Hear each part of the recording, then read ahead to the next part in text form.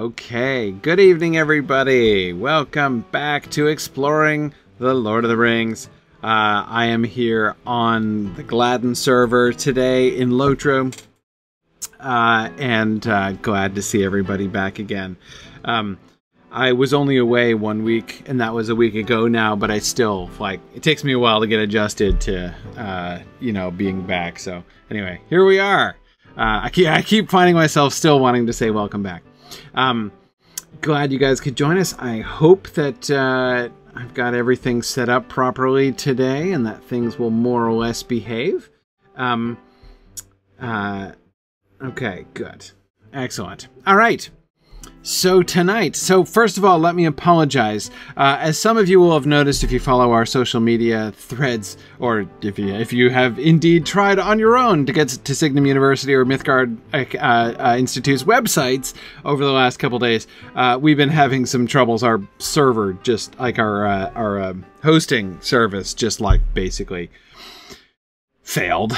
Um, so we had a, what I think was the longest prolonged outage of our website in my, perhaps in Signum's history. That was a really long one.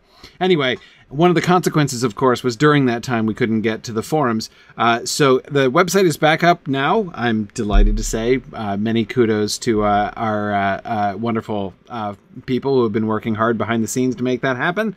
So that finally happened, but it was too late for my class prep, which I had already done. And so when I was doing my preparation for class as usual every week, um, I w- wasn't able to see people's posts. So I'm sure there are many excellent, wonderful posts on the discussion boards, but I wasn't able to see them while I was preparing for class. So tonight, we're not going to have notes and queries. Uh, we'll have to probably do more of that next week, which means um, uh, we're going to uh, get through more text than usual. Last week we only did one slide of actual text uh, because we had so many questions and stuff that we were talking about. Uh, so um, uh, this uh, this week we'll see if we can make up for it. I know. Right, three slides is my goal. Trifle. We'll see. We'll see. I think JJ, we might get a couple paragraphs in. Um, and in particular, what I'm really excited about for today. So uh, the the it's not just the mere quantity, of course, of text that we'll be covering, um, but this these few paragraphs that we're doing today are paragraphs I've been really excited to get to. For one thing, these are paragraphs that people have been wanting to jump forward and talk about for a really long time. Just like the passage where Gandalf talks about you saw him, uh, you know, as he is on the other side, right? People have been quoting that for months, right? During ever since Glorfindel showed up, people have been quoting that, and I'm like, wait till we get there to get there. Similarly, people have been quoting the that Gandalf's reflections on Frodo and him being, you know, uh, uh, like a glass and everything. That passage that we're going to get to tonight. People have been quoting that, and I've been kind of pushing that back and and and waiting. Um, so we're going to get to that tonight. But it's not only that we're going to get to that particular passage, but even the passage before that.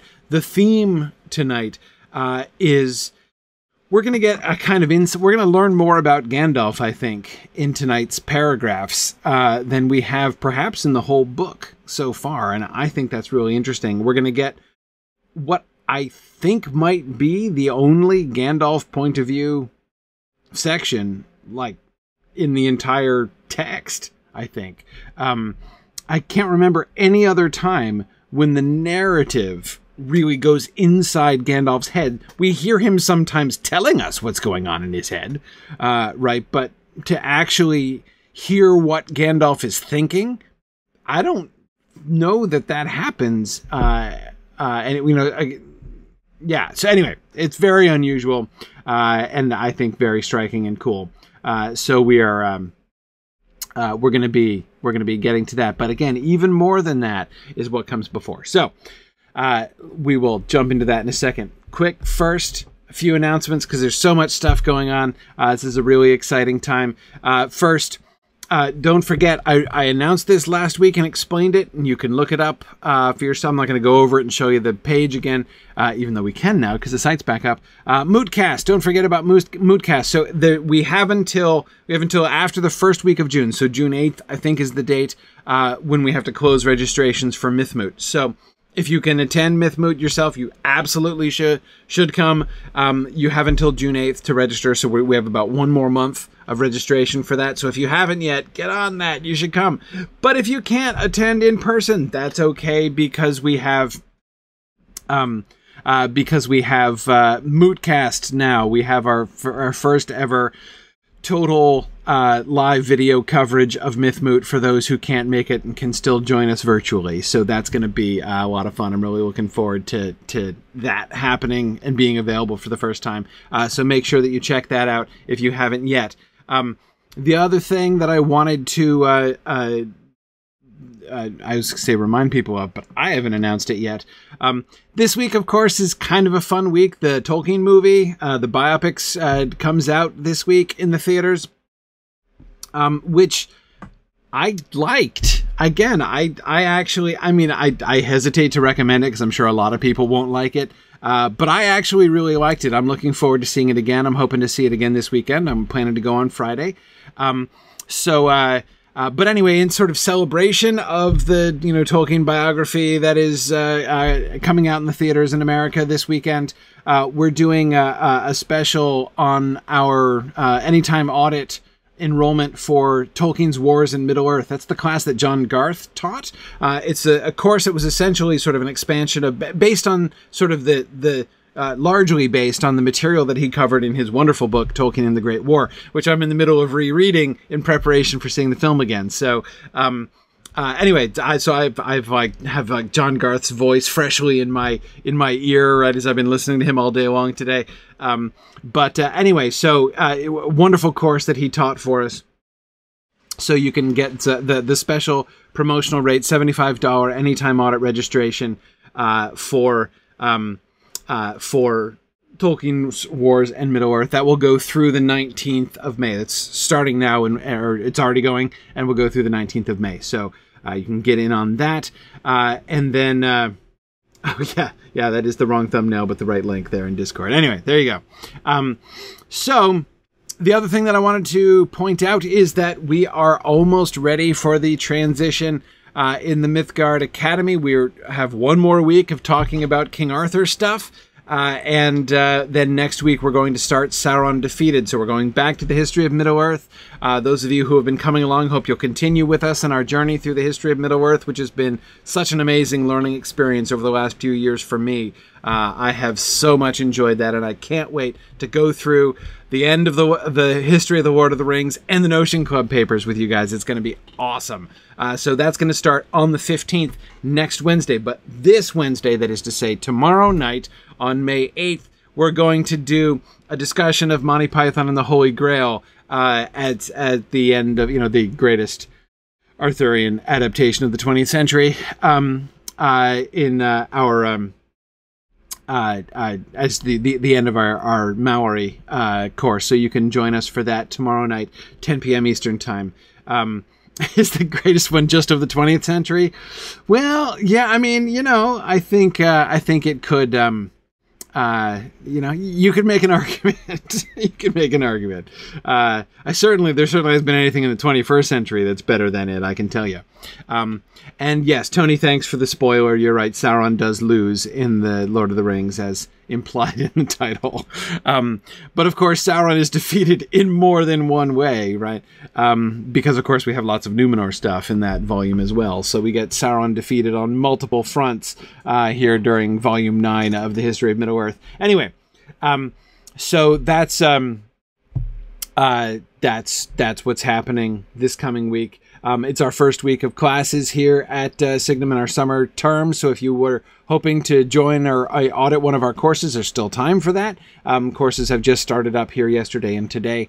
Uh, registration will still be open until the 19th, but sooner is better, of course, when it comes to that. So, all right, I think that's all the news tonight. Uh, so let's um, uh, let's uh, move. Uh, let's move on here. Okay.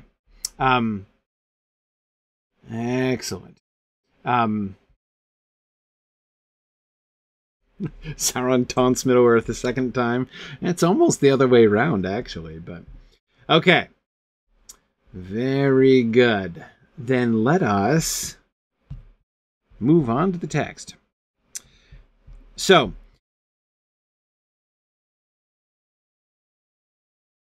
remember that we were discuss one of the things one of the issues that we were discussing one of the things that was raised by uh, some of the folks on the discussion board that we were looking at um, that i said we would come back to today was the question of gandalf's power and sauron's power right? And to what extent are they opposite numbers? What's what's the difference between how good people exert power right, utilize power or what hobbits might call magic in the world. And how does it differ from the deceits of the enemy? How does it differ from how power is exerted by the bad guys? Like how how can you tell? What is the essential difference? Um, and um, one of the things, remember, we were talking about this that. Uh, you know, people were wanting to talk about how Gandalf is about inspiring hope and and uh, uh, sort of spirit in people, but that I was saying we've got to be careful with that because that's something that's not a premise from which Tolkien begins. That's a conclusion to which he comes at the end, right? Um, so I'm not saying that we can't think about that or we have to try to forget that that Tolkien ever went on to write that. Um, but we shouldn't, I think, approach these passages in the Lord of the Rings with that premise in mind first, looking for confirmation of it, or as if that premise informed these passages, that premise instead is drawn from these passages, right? Um, anyway, okay, so uh, therefore, the main thing that I want to uh, uh, focus on here in this in these passages, look at Gan- look at what happens with Gandalf. Remember, Gandalf has just been talking about the war. So let me. Uh, I've been uh, saving the old passages so I can go back here. So remember, this is what Gandalf had just been saying. Uh, you saw him for a moment as he is upon the other side, one of the mighty of the firstborn. He is an elf lord of a house of princes. Indeed, there is a power in Rivendell to withstand the might of Mordor for a while, and elsewhere other powers still dwell. There is power too of another kind in the Shire, but all such places will soon become islands under siege if things go on as they are going. The Dark Lord is putting forth all his strength one of the things that we were observing last time about that final paragraph is that um, he sort of transitions, right? He kind of uh, uh, he he starts off talking about and still answering the question: Is Rivendell safe? Right? And uh, and asking and answering his question about Glorfindel. By the end of the paragraph, he is talking about the War of the Ring to come. Right? All such places will soon become islands under siege if things go on as they are going. The Dark Lord is putting forth all his strength. Um, and we were kind of pointing out that this seems like a sort of questionable from a from a from a medical standpoint, right? From a uh, from a treatment standpoint uh, of uh, of his patient Frodo. Um, thinking especially from like a spiritual point of view uh, this is uh, d- seems like a kind of a questionable move on Gandalf's part. Like, let's keep it positive here, Gandalf, right? Um, but uh, the thing that I want to primarily point out here look what happens to him. Uh, we've seen where his mind goes, right? But look at what happens to Gandalf when his mind goes there. So let's go back to the beginning here. Still, he said, standing suddenly up and sticking out his chin, while his beard went stiff and straight, like bristling wire. We must keep up our courage. You will soon be well, if I do not talk you to death. You are in Rivendell, and you need not worry about anything for the present. Okay, so two things that we can see happening here, right? First is by the end of this paragraph, he's come back to the bedside manner, right? He's once again kind of remembering himself in a sense, right? Uh, and, uh, uh, you know, his message in the end you are in Rivendell and you need not worry about anything for the present. So forget what I was just saying about islands under siege, right? That's that's uh, let's not focus on that, right? Let's focus on your current safety and that you don't have to worry about anything, right? But to me, the really fascinating thing is what we see before that, right?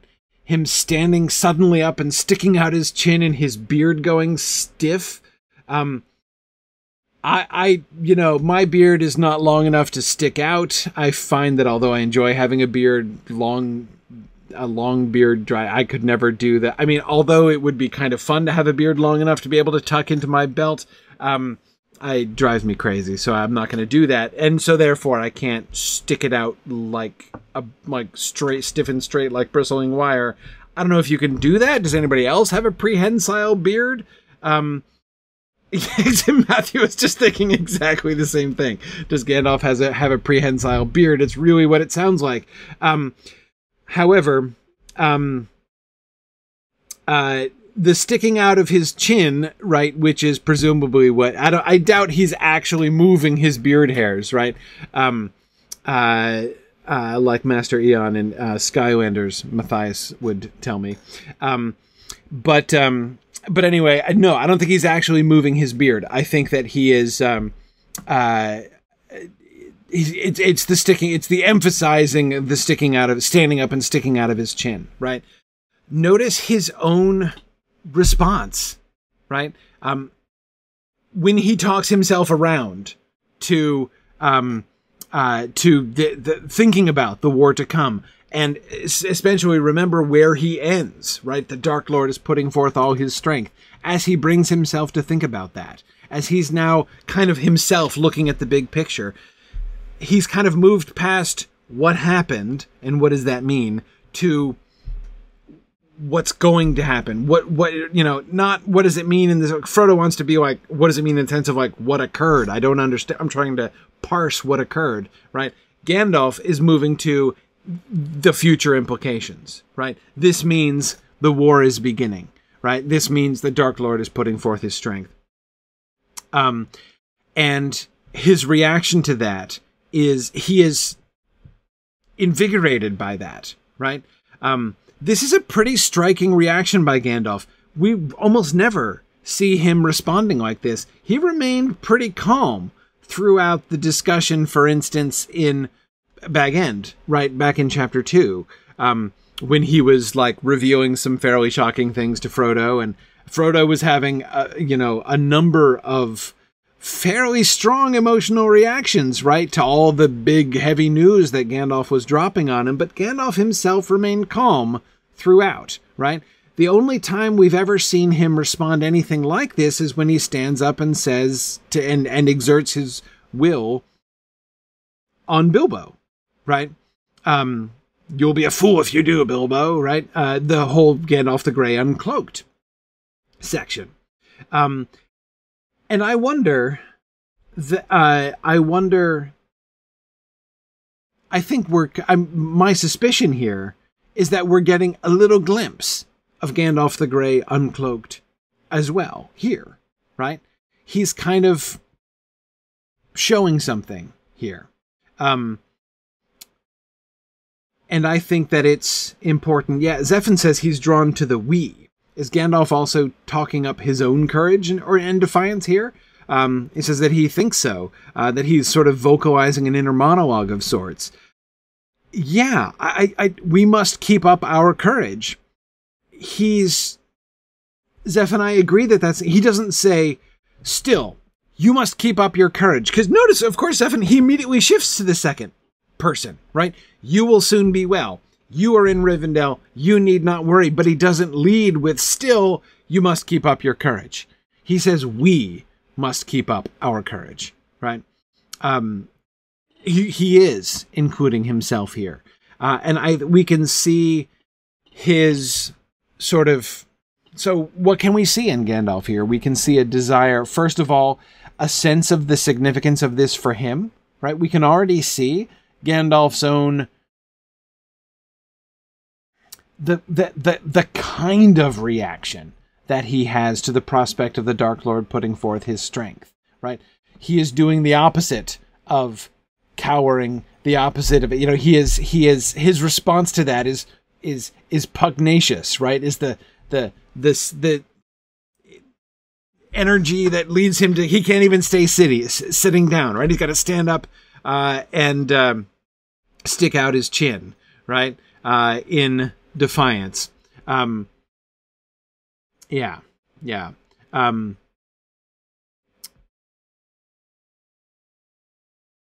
yeah. So, um,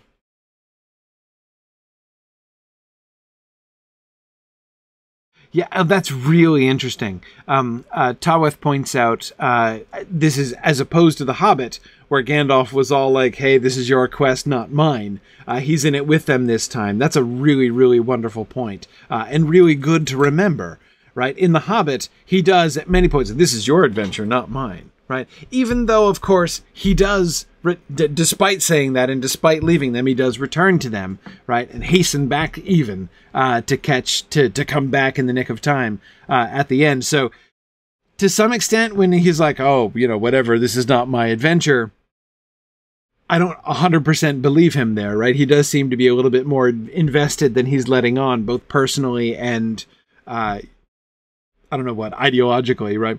Um, but nevertheless, I, I, I certainly agree with you, Tao. I think there's a really important difference that we can see um, uh, here. And uh, uh, uh, Jacques, yeah, this is Gandalf's purpose, right? Um, and I think that's one of the things that, to me, this this mannerism, right, this behavior by Gandalf shows us. This is the one, and remember, this is really the first time we've seen this. Gandalf, we know that Gandalf is opposed to the enemy, right? So is, say, you know, so is uh, Strider, right? So is Glorfindel. So is Elrond. So is Barliman Butterbur, right? So is Farmer Maggot. I mean, lots of people are opposed to the enemy, but we have not had any reason to believe yet. This is the first indicator that we get that, in some sense, Gandalf's purpose is the opposition of Sauron, right? Um, you know, he is going to say eventually, right, at the end of the Return of the King, once the quest is over, he's going to say, I was the enemy of Sauron, right? Like, his job is to be one of the sort of captains of the resistance, right? One of the leaders of the resistance against Sauron. By the end of the of the story, it is going to be clear that that's Gandalf's purpose, that that's Gandalf's role. We have this is I this is our first hint of that right? When he, as he begins to think about the war that is coming, the war that has begun, and he's like, I'm ready. Let me at him, right? Um, uh, we must keep up our courage. And so, Zephin, coming back to your point there, I think the we goes both ways, right? That's what I love about that, that's what I, the other thing that I love about the inclusiveness of that we. On the one hand, we can see it's relevant to himself, Zephin, exactly as you pointed out, right? He needs to keep up his own courage his own courage is in doubt. Right? I don't mean that his courage is tentative. I mean, it's an issue. It's not automatic. Right? Gandalf has a choice to make. He could fail. Right? He could totally screw this up. And he would, screwing this up, what would that look like? It would look like not keeping up his courage. Right? He could back down. He could wimp out. That's, that's on the table. Right? He, spoiler, he's not going to do it. But he could. Right? Uh, so that he's thinking about that. Um, but uh, but the other thing, Zephin, is it's in addition to that, he's, he's not only including himself, obviously he's including Frodo in the we as well. This, I think, is that first indicator also that we get that that is also part of what it means. So this is the first glimpse that we get of Gandalf as leader of the opposition of Sauron. It is also the first glimpse that we get of how he is a leader, right? We must keep up our courage. Um, that would be like a pretty good campaign slogan for Gandalf for president, right? Gandalf for president. We must keep up our courage, right? I mean, that's kind of his thing, right? And we will see, um, you know, a, a great deal of Gandalf's future actions in the story is going to be like a kind of extended commentary on that line, right? Um, we must keep up our courage. Uh, cr- cross reference Theoden in the Golden Hall, right? Cross reference Denethor, right? That one doesn't pan out as well as he doesn't succeed with that one as well as he succeeds with Theoden, but still, right? Um, yeah, yeah. And Tony, you know, I would not, um, I would not be surprised if the, um, uh, if, if if you're right about that, if you know the the we is also to reassure Frodo that he Gandalf is in the fight with him, right? That Frodo is not alone. uh, with his burden. Um, and even, of course, it isn't if you are feeling uh, intimidated and slightly fearful, right? It is kind of encouraging to have this person whom you look up to and respect so much as Frodo does Gandalf say, You and I are in the same boat, right? We both have our courage that we need to keep up. Let's help each other do that, right? So it certainly is a really great leadership moment in that way, too, right? Um, uh, yeah, yeah. Gandalf wearing a keep calm and carry on shirt. I, I belongs but I, I agree with you. I think it's more like don't panic, right? Um, Gandalf uh, knows where his towel is. Uh, yeah, good. Um, yeah, no, I agree, uh, uh, uh, Cecilia. That would be a, a really good T-shirt, wouldn't it? Gandalf for president. Uh, on on the front, we must keep up our courage. Um, yeah, yeah, yeah, exactly. Um, yeah, uh, Jacques, I agree. This is a really big moment uh, for several heroes in the story, right? This whole um, interlude in Rivendell, uh, you're absolutely right. Very uh, crucial moments for Frodo, Gandalf, and Aragorn. Absolutely. Um, and that's why I find this passage so compelling with Gandalf, because we get this glimpse into what's going on with him, right? What his job is, what his thoughts are, what his fears and concerns are, uh, what his responsibility is, all that kind of stuff. Um, is I this is I can't remember another place in the text where we've seen that more clearly than we do here. Um, yeah, yeah. Um, Okay. Uh, let's see. Um, yeah, that's interesting. Uh, De La Mancha points out that uh, it's it's similar to the kind of inclusive wording that Aragorn often used too, when he would say things like "Let us take this as a sign." Um, yeah, yeah, that's interesting. Um, I hadn't been thinking about Aragorn's use of the plural in that way. Uh, when when really he was saying, "Okay, I'm gonna take this as a sign. Just you guys just come along, right?" Um, and but but you're right. He didn't talk that way with them. Um, I wonder. Katrin is asking if we think that there we're seeing any vague hints here that Gandalf is still a bit rattled uh, from his recent encounter with Saruman, which of course we don't know about yet um, and not just about being daunted by the task task of going up against Sauron. Um, I don't know. I don't know if there's any evidence of his, of his being rattled exactly. Again, I don't. I mean, we must keep up our courage. We don't know how much he's actually struggling with keeping up his courage, right? Um, if we were seeing real doubt in him, then I might think that way, Catriona. I'm not sure that we have clear evidence that he's actually doubting himself or himself seriously worried. Um, again, if anything, he seems to be kind of pumped up uh, in response to the thought of the Dark Lord putting forth all his strength. Um, in fact, Catriona, I guess I would say, kind of in looking forward to what he's going to tell us about what happened retroactively in the past. Uh, if anything, it seems like the treason of Isengard is again like a, a clear sign that the beginning has come, right? Um. Yeah, yeah, exactly, Tony. The the resurfaced the ring and the Nazgul coming in, and again, even I think I would add even the treason of Isengard to that. That that now is the time, right? The time of doom uh, has come. I think that's absolutely right. Um, That's interesting. Fourth Dauntless is saying that he's uh, he thinks it's a little bit conspicuous that we don't know in what direction he's sticking out his chin and his beard. Right? Is he is he facing the east defiantly when he says that? Um, yeah, I don't know. I don't know. I mean, I, I, agree. It's interesting that we don't get that. I don't know that I would say it's sort of. I, I don't know that I would say it's strange that we don't get that, but it is kind of interesting. Um, yeah, yeah. Um, yeah, exactly. Cecilia and someone else is asking about, you know, isn't this just kind of like the royal we?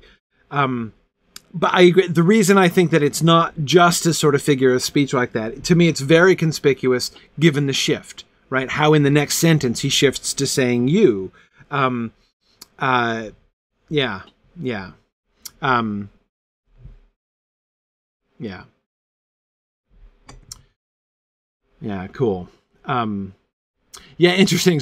Jacques says, of course, his encounter with Saruman would make him realize that he was the one sticking to the mission, right? he's, he's, he's I mean, because Jacques, you, he could be daunted by that, right? Because there's more, um, there's more that is uh, kind of on his shoulders now, right? Because it's clear that Saruman has at least abdicated his job, right, as uh, uh, leader of the council. Um, at the very least, he is not doing what he's meant to do, and he's obviously also doing a bunch of things that he's not supposed to do. So he is now doing the opposite of helping, uh, and so it's up to Gandalf, right? Um, yes, yes. Um, yeah, good, good. Um, okay.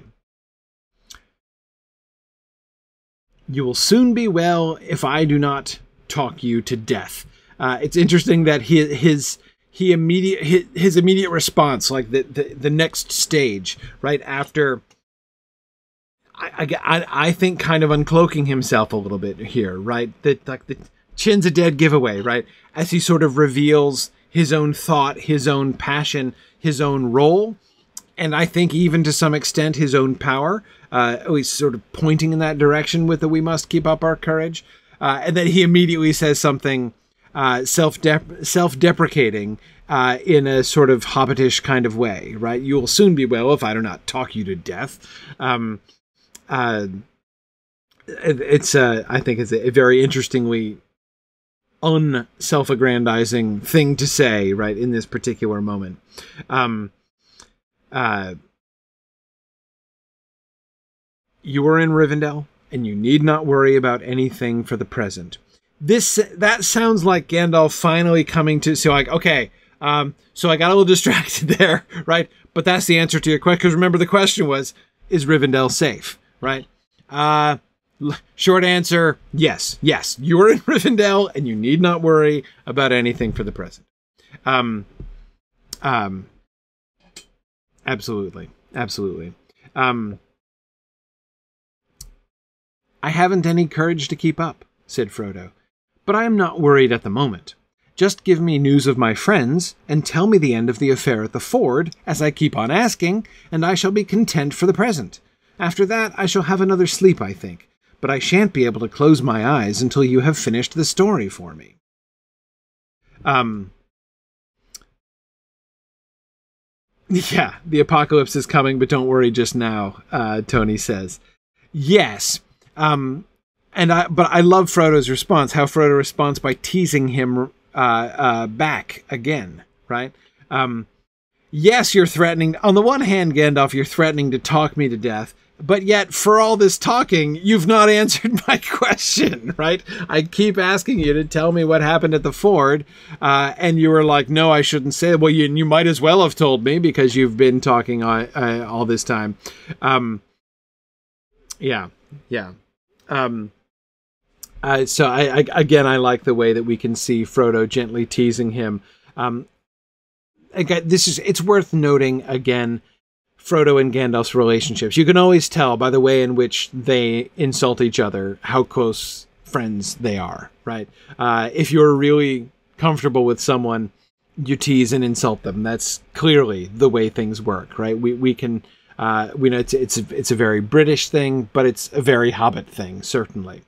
Um, and um, I think it's important to be reminded, right, that Gandalf and Frodo have that kind of relationship. We don't see it's going to take a while. Remember, we saw Aragorn kind of slowly warming up in this direction, right? Um, we talked about this a little bit with the stone trolls, right? And uh, how Aragorn kind of plays them, right? And and plays this practical joke on them, which they love, right? And that seems to lead to this moment of friendship and fellowship among them, not just among the hobbits, but with Aragorn as well, um, which is different from any of the interactions that we've seen them have with Aragorn before that. Gandalf's already a pro, though, right? We already see this kind of intimacy that he has with Frodo, and I think it's really, uh, uh, I think it's really fun. Um,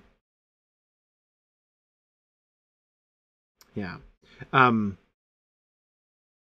now, Rococo, I agree with you. It is, um, it is important not to miss the basic truth and, and significance of what the advice that Gandalf gives to Frodo, right? One day at a time, right? Uh, you know, to use Tony's phrase, the apocalypse might be coming, but it's not today, right? The Dark Lord is putting forth all of his power, but you're safe for, for now, right? So don't worry. Um, and I don't think it, it is easy to make that sound like a joke or kind of sarcastic. Right, Tony, exactly the kind of emphasis that you were placing on that. Um, and that's, that's, that's funny, but I don't think that that's how Gandalf means it, right? I don't think he's, um, making fun of himself again by saying that. I think that I, th- I agree with Rococo. I think this is genuine advice, right? Um, uh, the Dark Lord is putting forth all his strength. Um, we must keep up our courage. We're going to fight and resist to the last. Um, but you're in Rivendell, right? Don't worry. Um, you need not worry about anything for the present. Um, Stephanie is wondering how much Frodo actually wants to know about his situation. Stephanie, you're wondering if the the the movement into the Dark Lord is putting forth all his strength is perhaps too much information for Frodo. He's like, no, I, I really just wanted to know that Merry and Pippin were okay. Like, you know, is that, you know, kind of, how, how, did they escape and, and what happened to the, to the, to the Black Riders? Um, yeah, yeah. Um, and Tony, you're absolutely right. That is a good thing to remember, uh, that, um, uh, we are also seeing Frodo's Hobbit res- resilience, right? Thinking of how gravely wounded Frodo was. I mean, he was this close to wraithification. Uh, he's just come back from uh, the, like the the edge of destruction physically and spiritually, right? He's just now re, uh, you know, he's awoken for the first time, uh, and to see him, uh, uh, you know, banter with Gandalf right away shows how thoroughly he has bounced back, right? Um yeah, yeah. Um Yeah, yeah. Um Okay. Yeah, uh Pastille, I agree. Uh uh Hobbit courage is really important, right? It really can do a lot of things and it's easy to overlook it, right?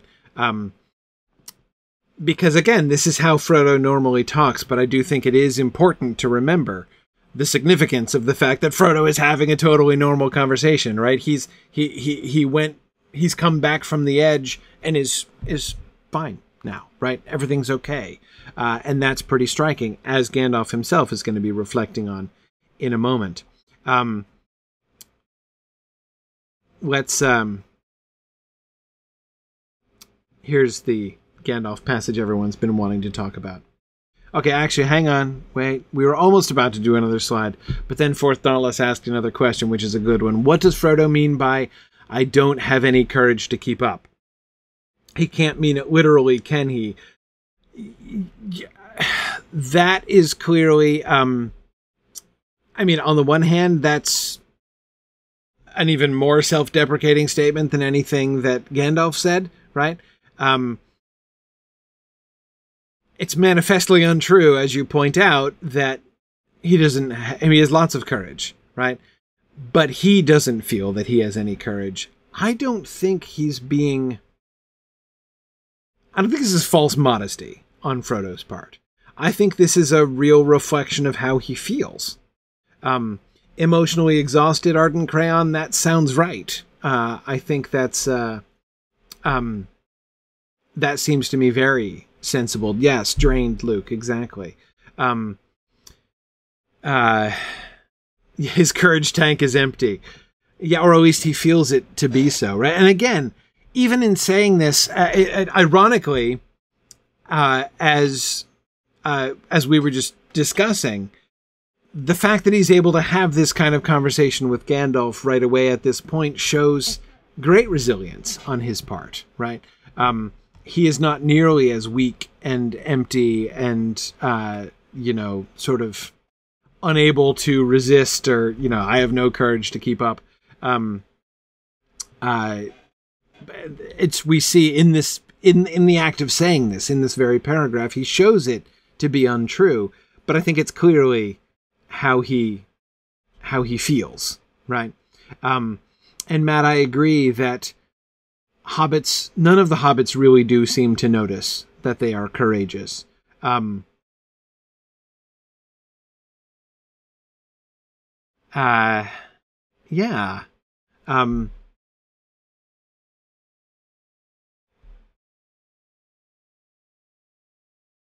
if you think about this kind of culturally, right? I, am I'm, I'm trying to think of a contrast, right? Um, I'm trying to think of a contrast to that kind of courage, the kind of courage that hobbits have, without just coming to somebody who's arrogant, right? Somebody who's a negative example, somebody who's a positive example in, within a different culture. Uh, and the best that I can come up with is Boromir. Um, Boromir is brave, and he knows that he's brave.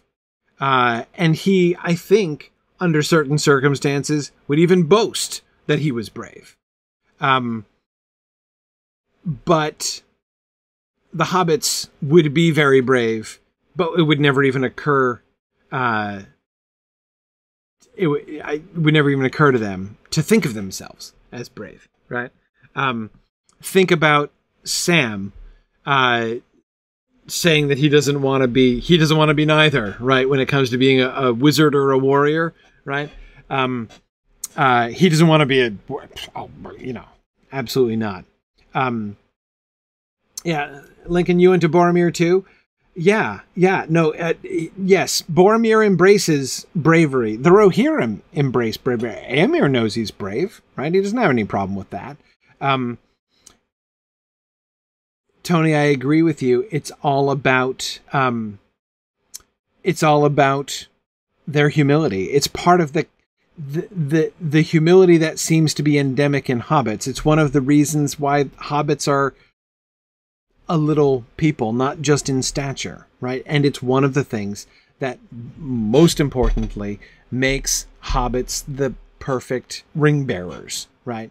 Um, Frodo is the best choice to carry the ring of power.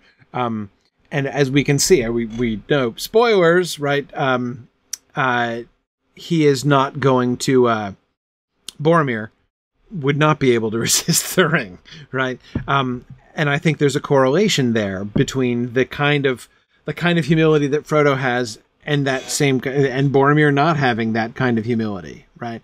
And I think that that particular I'm not necessarily saying that the embracing of one's own bravery is necessarily bad. I don't think that that's a vice in Boromir. I don't think that that's a vice in the Rohirrim when they boast of deeds that they are going to accomplish or something like that.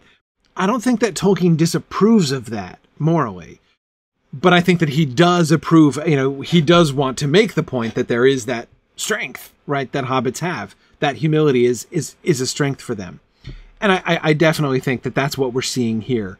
Um, he really doesn't understand um, the courage that he has or that he's shown. Remember back to the beginning of this conversation when Gandalf uh, immediately begins by teasing him about uh, how many absurd things he's done during his journey, and he immediately thinks about the Barrow Downs. Right, Gandalf mentions the Barrow Downs, and he's th- he's like, "Oh man, yeah, I really blew it." Right, several times here. Um, but of course, he's not thinking, as we saw. I mean, the kind of courage the narrator had to draw our attention, drew our attention really forcibly, right, to the the kind of courage, that seed of courage that is buried deeply in hobbits, right, which emerges. Uh, the extravagant courage that Frodo showed in the Barrow Downs uh, to uh, hew the the the hand uh, of the uh, of the Barrow-wight and and uh, you know work against its curse and then call out for Tom Bombadil. Um, he showed remarkable courage. And yet Frodo immediately was like, "Oh yeah, like absurd. I I really screwed that up, right? He he doesn't, you know, he doesn't even think of his courage as a moderating factor, right? He's like, "Oh yeah, okay, I did lots of absurd things." Um Yeah. Yeah. Um Mornowen, that's really interesting. What about Aragorn? I think that Aragorn. I would say the difference between Aragorn and Boromir. I don't think it's necessarily that they have totally different like codes or sort of moral frameworks on this subject. I just get the feeling that Aragorn's much older than Boromir is. Um, and I think he's the the gap in experience between them is even greater than the gap in age between him and Boromir in the sense that Boromir, though he's seen battle and he's you know he's not sheltered or anything like that, um, but you know he's the prince, not officially the prince, right? But he's the sort of prince. Um, Aragorn has had a rougher life and more varied experiences, and I think that we can see that. What I'm getting at is Aragorn has failed more often, right? Aragorn does not seem as confident as Boromir, just because I think he's been through more than Boromir has. Um, but I don't think that he has any less of a. Uh, I, I, I, I don't think that he has that Hobbit flavor of humility that we see in Frodo and in Sam, of course, very, very strongly. Um, yeah, yeah. Um, yeah, Fourth Dauntless is thinking of the conversation between Pippin and Beregond, where we will see that issue with courage and bravery again, uh, and Pippin voicing a very similar thing.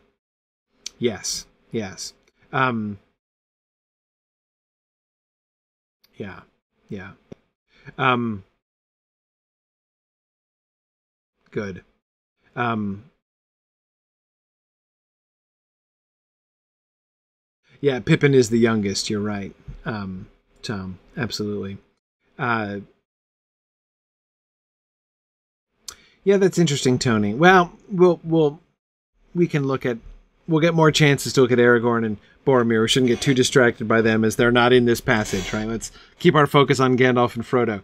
Um, but uh, but but but yes, I, I agree with a lot of the things that you guys are saying. I think it's important.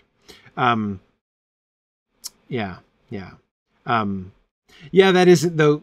Okay, last comment. Cecilia, I agree that that is interesting. Boromir is brave and wants to know wants others to know how brave he is, whereas Aragorn knows that he's brave but doesn't need to broadcast that, right? Yeah, yeah. No, that seems fair to me too.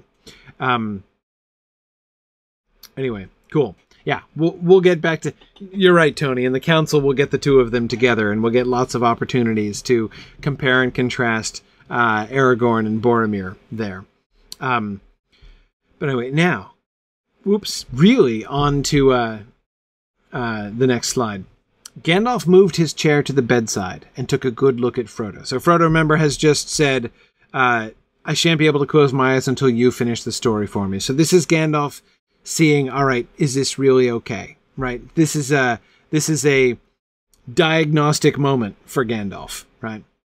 He took a good look at Frodo. The color had come back to his face, and his eyes were clear and fully awake and aware. He was smiling, and there seemed to be little wrong with him. But to the wizard's eye there was a faint change, just a hint, as it were, of transparency about him, and especially about the left hand that lay outside upon the coverlet. Still, that must be expected, said Gandalf to himself. He is not half through yet, and to tell and to what he will come in the end, not even Elrond can foretell. Not to evil, I think. He may become like a glass filled with a clear light, for eyes to see that can. Okay. Mad Violinist, excellent first question. I was thinking the same thing. Who wrote this, right? Who is narrating this? Um, uh,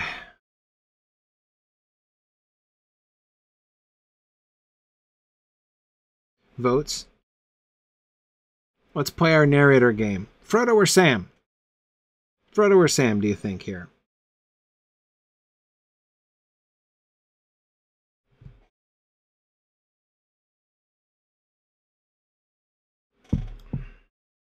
Lots of votes for Frodo.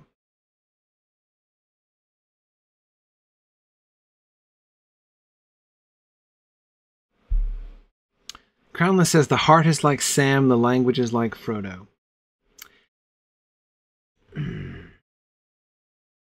There's no question that Frodo could have written this. I'm not, I don't, I wouldn't question that on practical grounds. No question that he and Gandalf could have talked, you know, Gandalf could have confessed all this to him later on, right? And then he included this. My, I think Sam. I would I would vote for Sam, and here's the reason I would vote for Sam. Um, Sam himself is going to be reflecting on Frodo in a very similar way.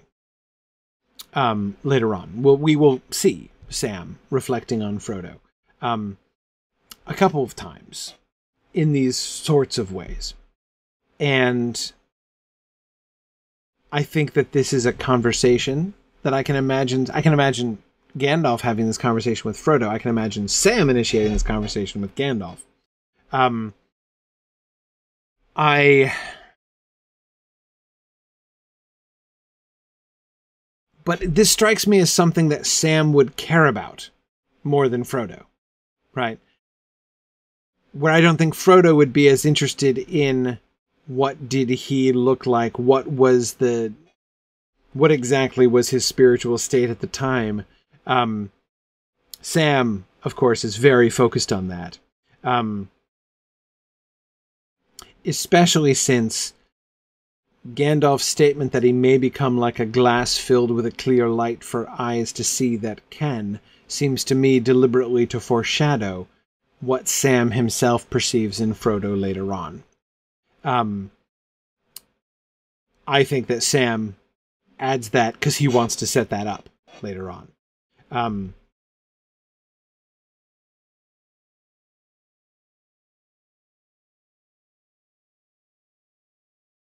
De La Mancha, I think it's only Gandalf who can see the transparency.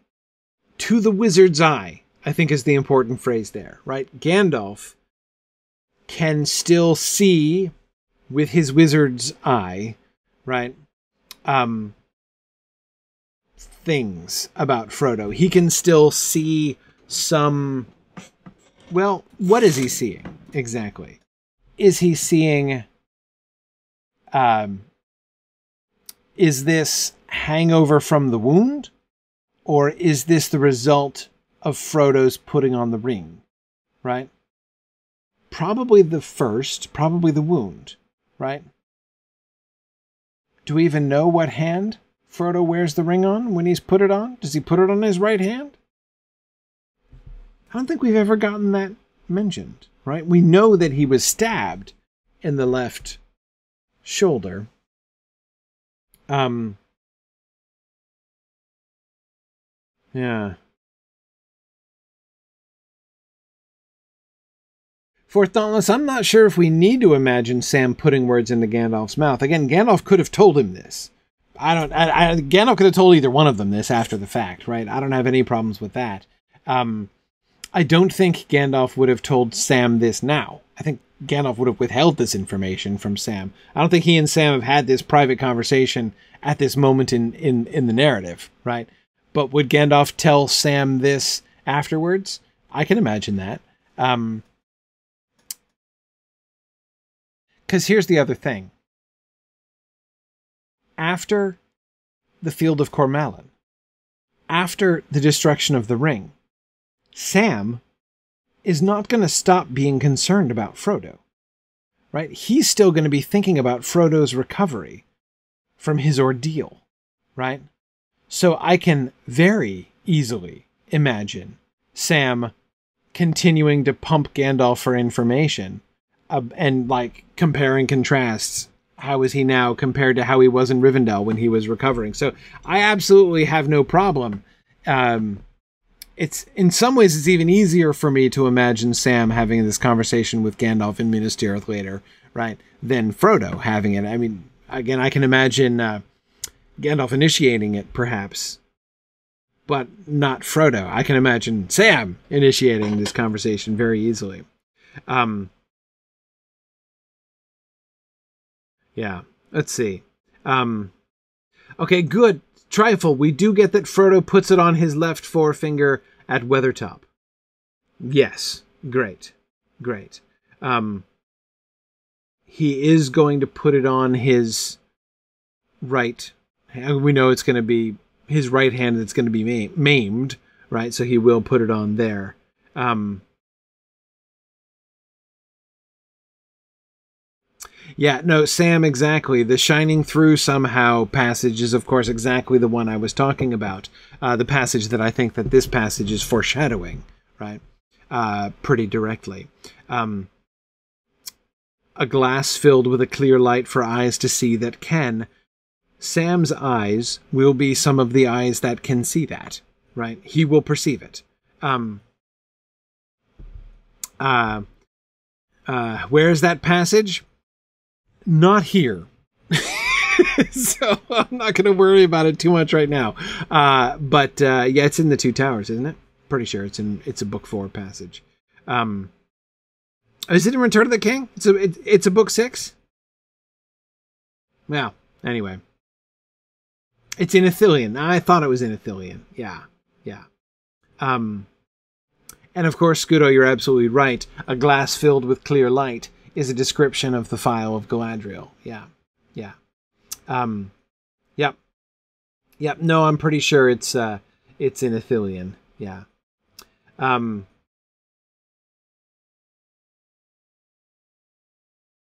Yeah, Brandon says that he always found this to be an effective part of the book. It's the first time we've heard an expert on wraithification slash ring fading assess someone who they knew before the process started.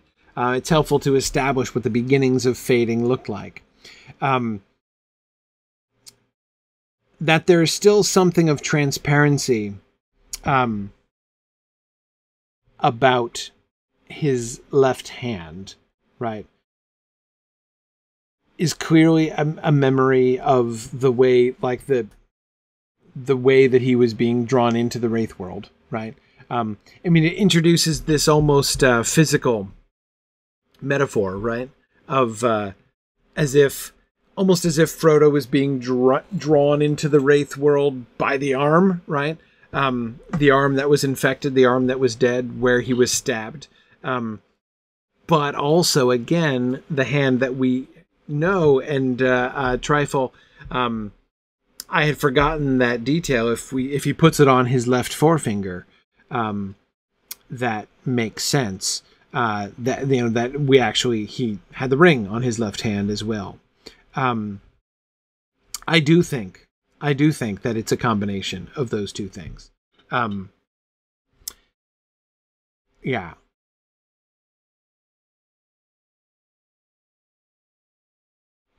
Mad Violinist. Uh, so uh, Rinrus says, does that line demonstrate that Gandalf foresees Frodo's full journey?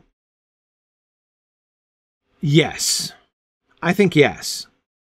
When Gandalf says, says he is not half through yet, and to what he will come in the end, not even Elrond can foretell, right? Um, he is not half through yet. Gandalf said way back in the parlor at Bag End, right? It may be your task to seek the fiery mountain or that task may be for others. But I think already at that point Gandalf had a shrewd idea that it was indeed going to be Frodo's task. Um, whether he's just trying to break it to Frodo gently and doesn't want to lay that on him right then, so it could be that he's downplaying it just out of tact, right? Um, but it is also possible that he's not yet sure, but now he's surer right? Rococo back to the one day at a time thing, right? Um, I uh, myself uh, myself I think that um,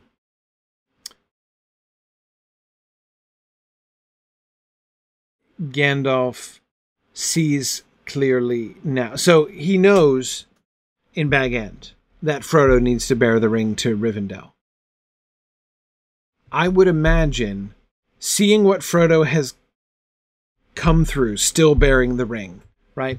Um, not just meaning, look at all the dangers that he has overcome, because again, like when you really look at it, he has done many absurd things. Remember the what we were talking about in Bree and um, Strider's initial poor opinion, right, of these hobbits. Like they're so incompetent. This must be a trap, right?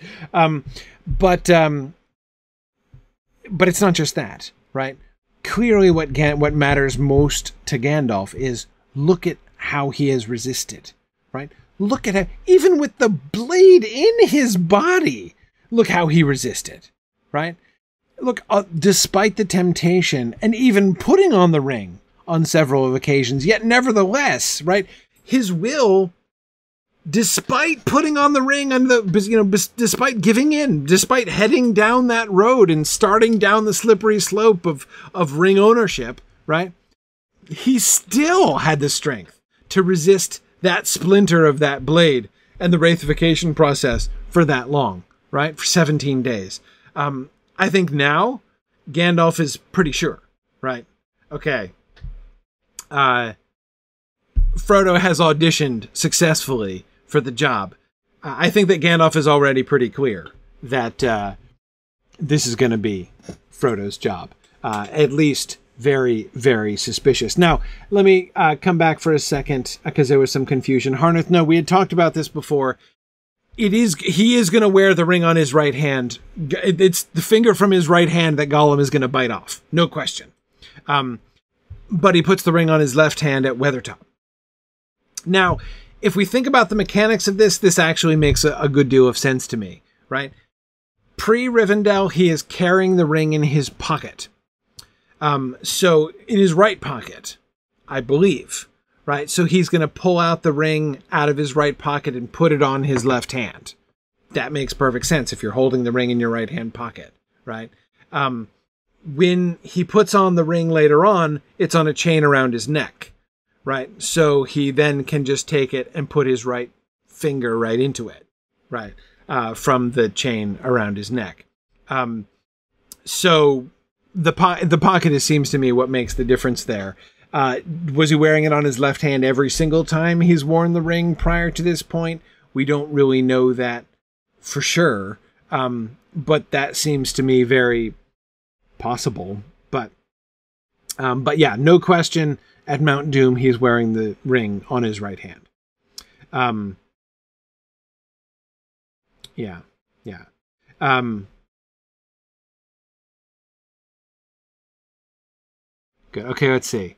Um, and I agree, Trifle, there is some really interesting symbolism about that, right? I don't know that I would want to go super far all the way with that because we don't know. I mean, I suspect he's wearing the ring on his right hand in Bree, in the Prancing Pony, right? Because there, the ring slips onto his finger when he has his hand in his pocket. So I'm pretty sure it's the right hand accidentally, right? Uh, that he has it on there. Um, uh, yeah, Mad Violinist was just saying the same thing exactly. Um, but um, yeah. Anyway, um, I think so. I wouldn't want to. If if we had really clear information that it was like left hand only before and right hand, uh, I would be tempted to say placing the ring on his right hand that that's a thing that you do when you're claiming the ring, right? Whereas the left hand was just using the ring uh, as an expedient. That to me is kind of a tempting interpretation there, but I don't think we've got enough evidence to really be sure about that. Um, yeah. Uh, we'll see. Uh, we'll see uh, if we get any. I'll be interested to see any other references. I don't recall, but I didn't recall the one at Weathertop either. So, um, yeah, yeah, yeah. I'm not. Um, a couple of people talking about like wedding ring traditions in different places and stuff. to me, I, am not sure I. Uh, uh, I'm not sure I really make that connection necessarily. I, to me, I'm just looking at the internal change, right? Um, because certainly the last time, and there's no question that the last time Frodo puts on the ring, right, when he's wearing it and Gollum bites it off his hand, he has claimed it, right? Frodo is put on the ring and he does not mean to take it off ever again, right? When he puts it on uh, in the Return of the King, right, at the crack of doom. Um, does he put it on in a different way, right? Um, in a different place, on a different finger, on a different hand, right? I, it would be interesting. Let me say, if I were doing a screen adaptation of this, I think I would do that. I think I would show a difference between where and how he puts it on when he claims it for his own, uh, and where and how he puts it on when he's just using it, right? Um, but uh, anyway, okay. Um,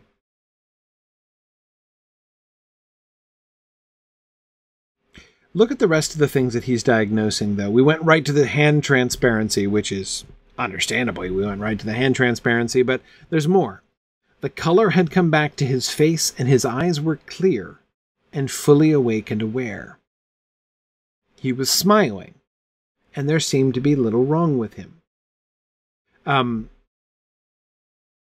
one thing that we get here is here's what just anybody can see, and here's what he can only see with his wizard's eye. Right? The faint change, the transparency, as it a hint as it were of transparency. Right? Very, very faint. Right? Very uh very subtle. Um but the stuff that you can see that anybody could see um, seems to me important too.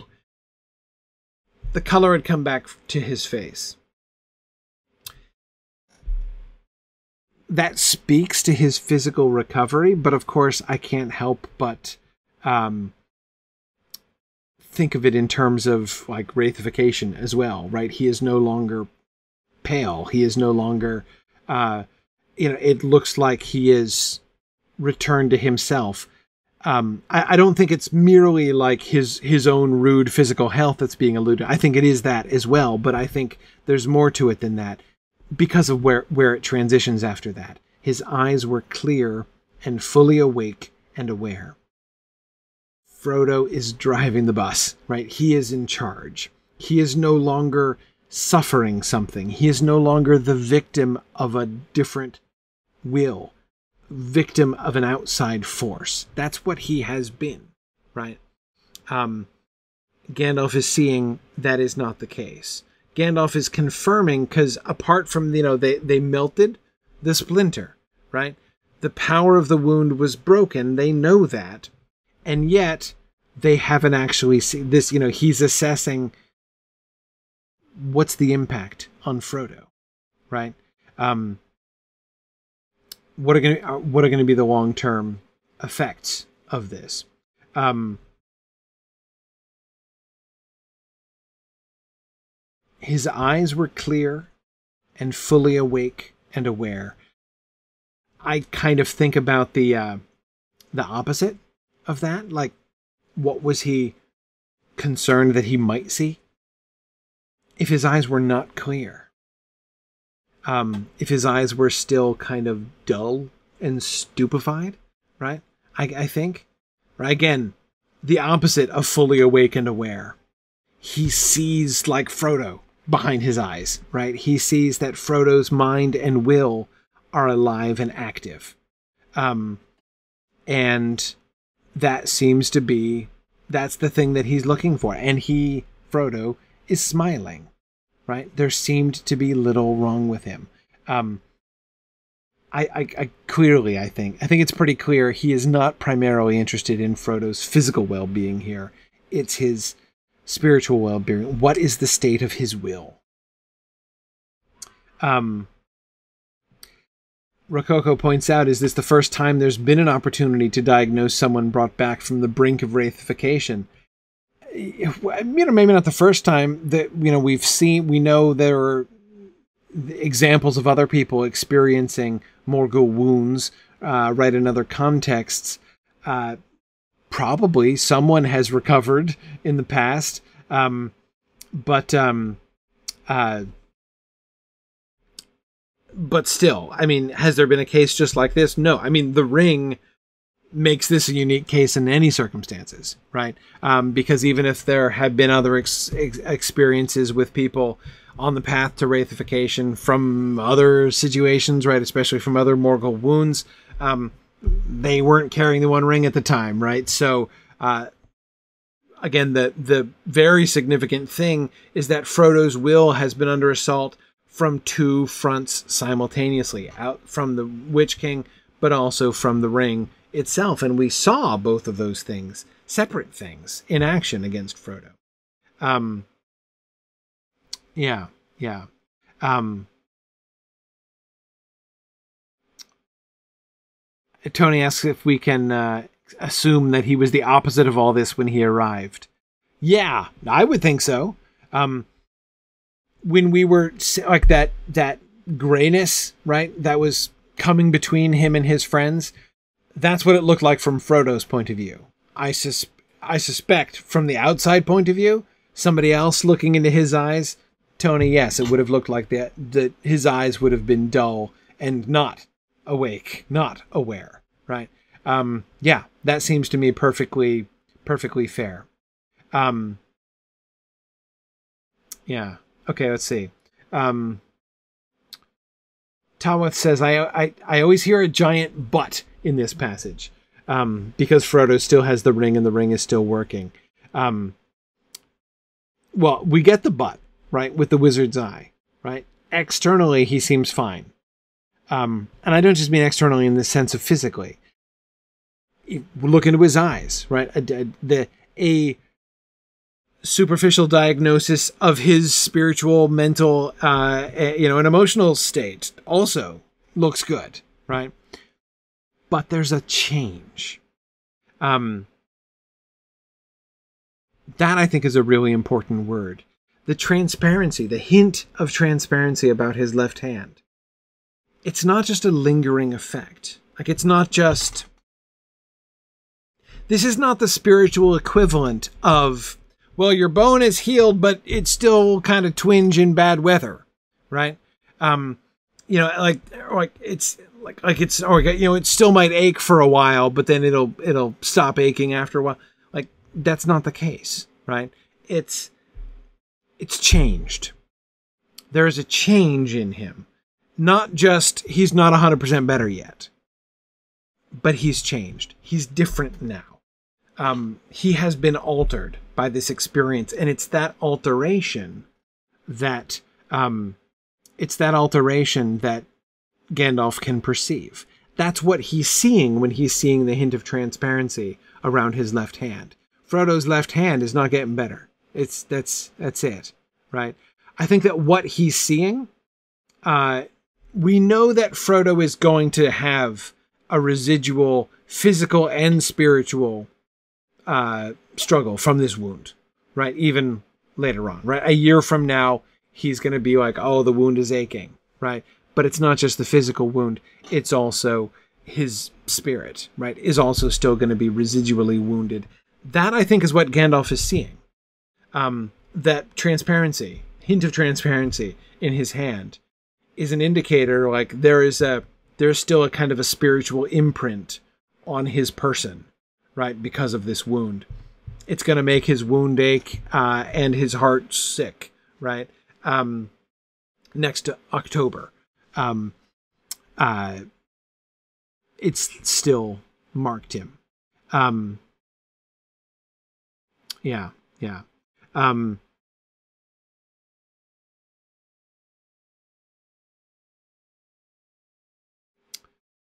yeah. Um, Exactly, Jacques. It's transparent to Gandalf's eyes because that's the location of the spiritual wound that's left the mark. Absolutely. That's it. Um,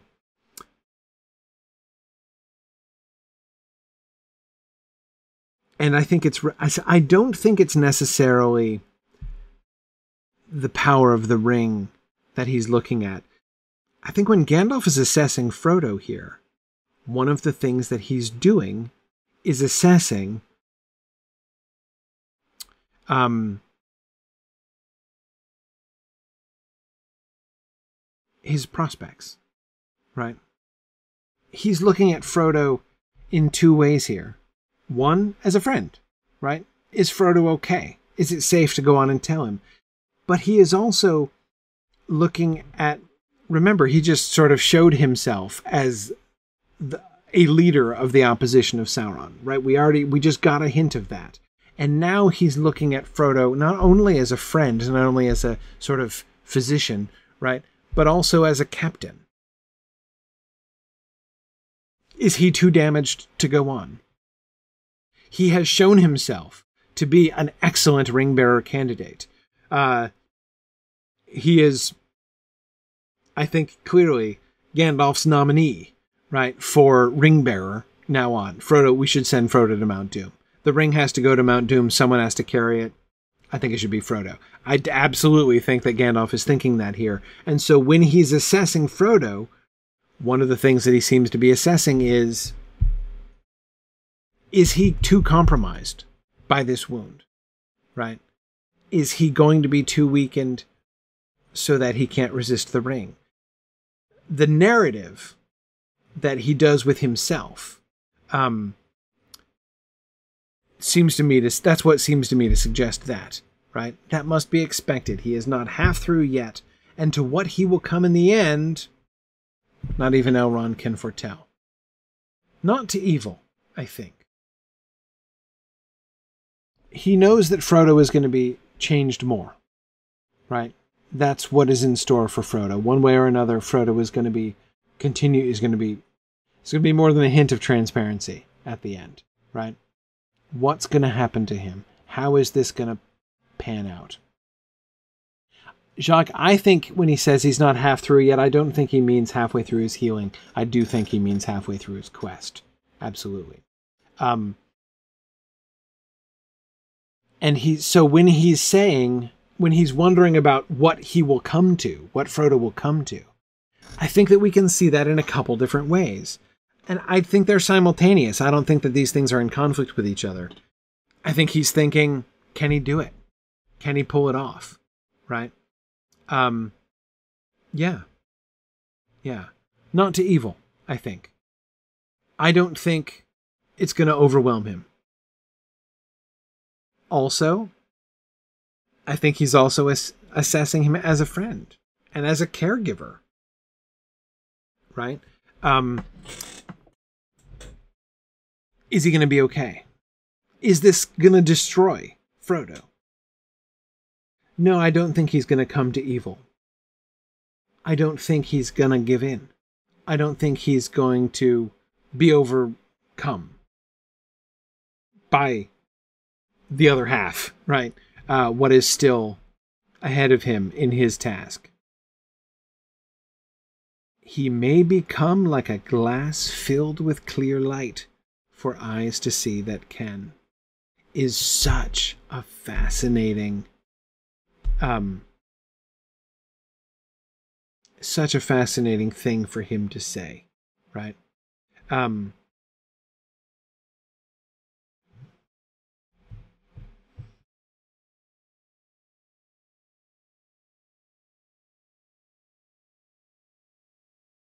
First, it obviously connects back to the observation he has just made with his wizard's eye, right? He sees a hint of transparency and concludes that transparency will grow. What will be the outcome? Not destruction. He is not going to fade. He's not going to be destroyed or defeated. He's going to become Galadriel's phial. Yes.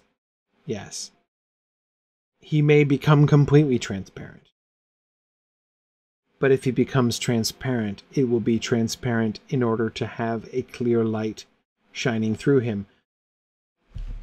We have two models for this.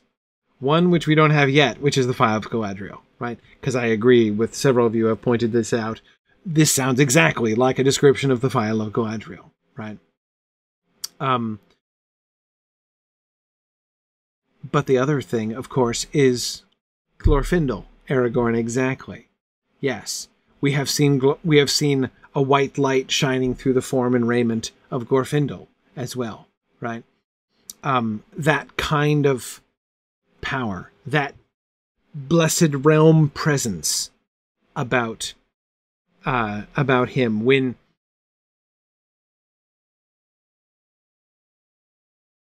what has already happened to Frodo has begun to make him, in some spiritual sense, perceptible by Gandalf's eye, transparent. What's going to happen if that process continues? If the transparency process goes on indefinitely, what will occur? And the answer is not withering. It's not destruction. He will become a transmitter of light, right? Clear light will shine through. If he becomes transparent, light will shine through him. And Tony, I agree. I think we have to think of the light of Valinor. What other light do we have? Right? We especially remember this is the same conversation. It's only like two paragraphs ago that Gandalf was describing the white light of Glorfindel, right? That when you know when when um, Frodo had just said, you know, I saw a white shining figure. Was that Glorfindel then? Yep. Uh huh. It was. Um. Yeah, we will see Frodo unveiled, uncloaked. Uh, Frumius, I agree. Um.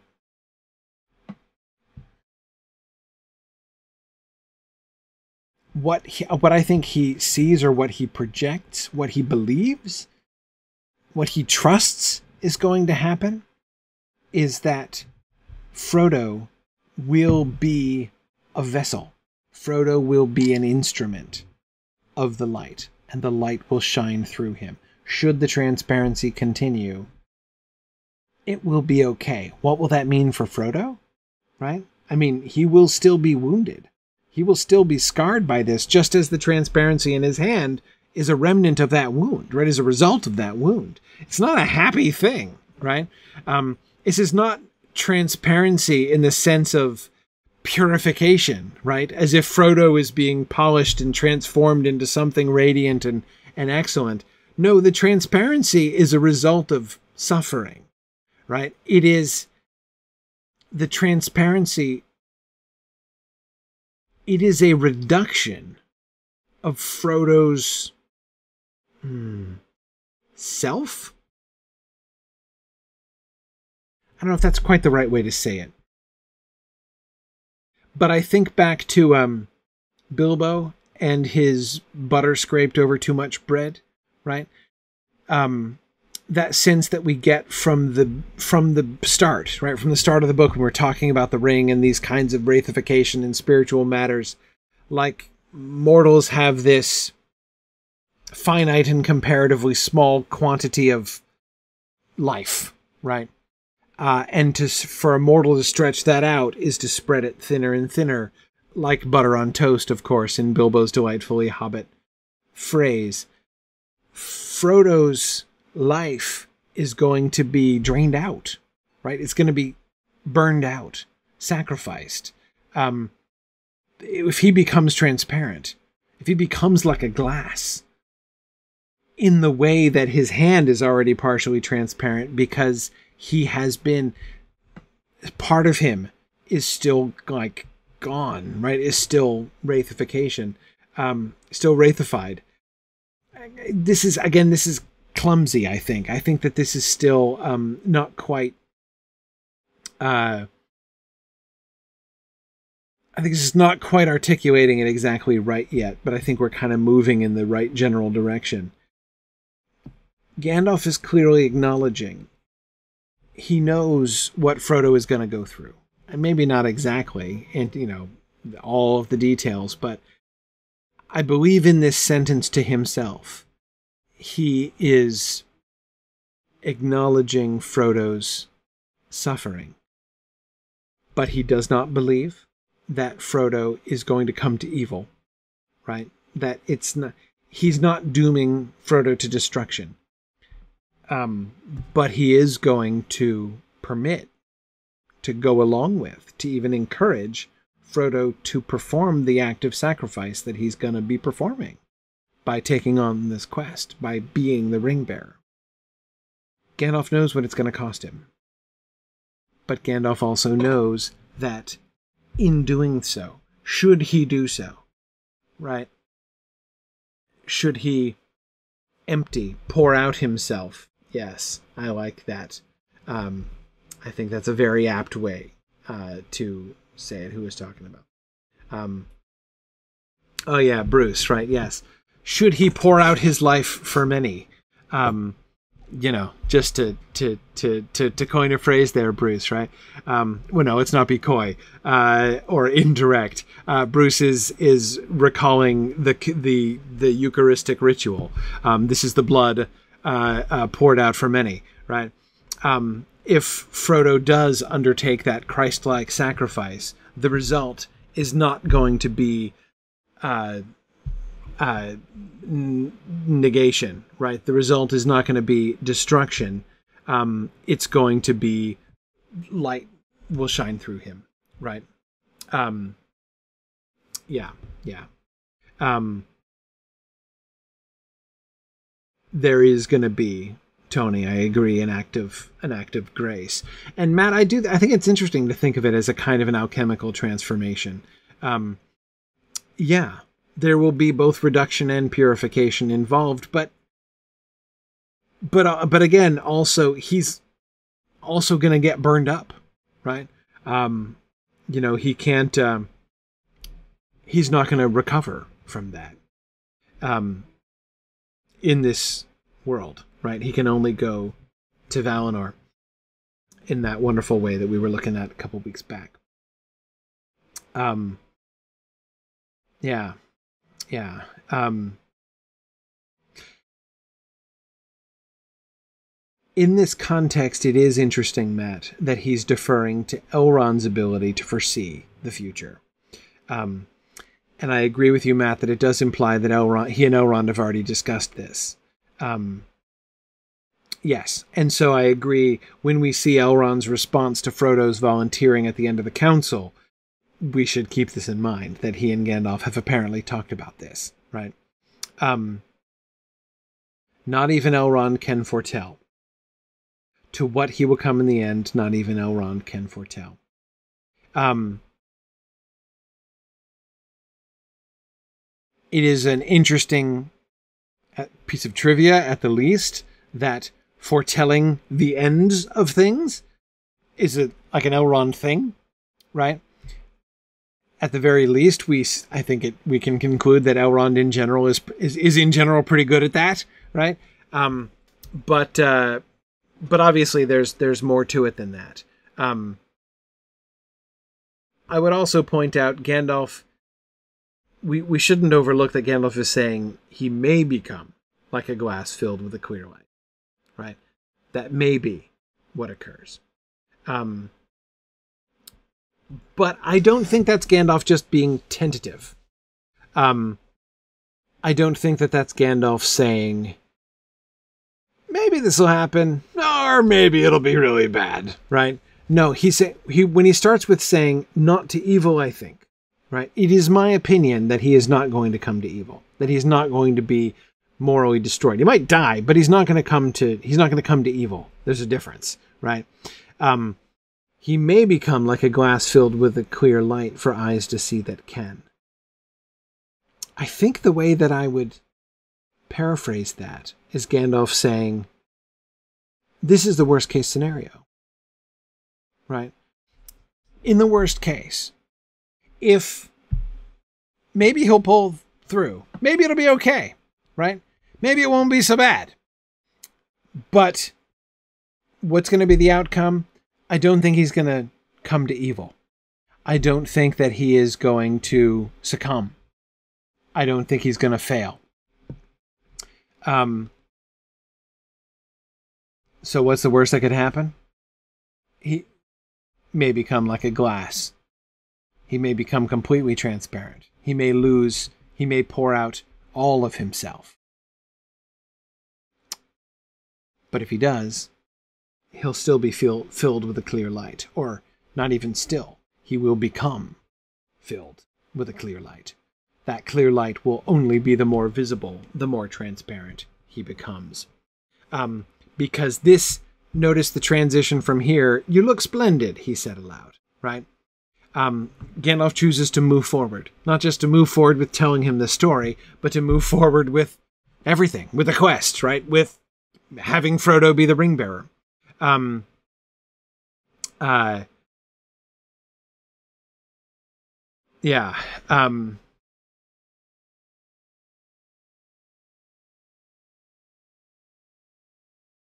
this that seems to be the final point that Gandalf is bringing himself around to, right? Now, somebody, and I forget uh, who it was because it was a long time ago. One of you was saying it's kind of interesting that Gandalf is actually kind of wrong about this, right? Frodo does come to evil briefly, right? Had not Gollum been, he would have finished coming to evil, right? Um, if Gandalf, if when Gandalf says not to evil, I think, um, if by that he means, I don't think he's going to succumb to the power of the ring. I don't think he's going to become either a mini ra- ring lord or a wraith by the end. I think the worst case scenario is he becomes like a glass filled with a queer light for eyes to see that can. Um, he's not necessarily. I mean, he turns out to kind of be right, but only barely, right? Um, I think that's fair. I think that's fair. Um,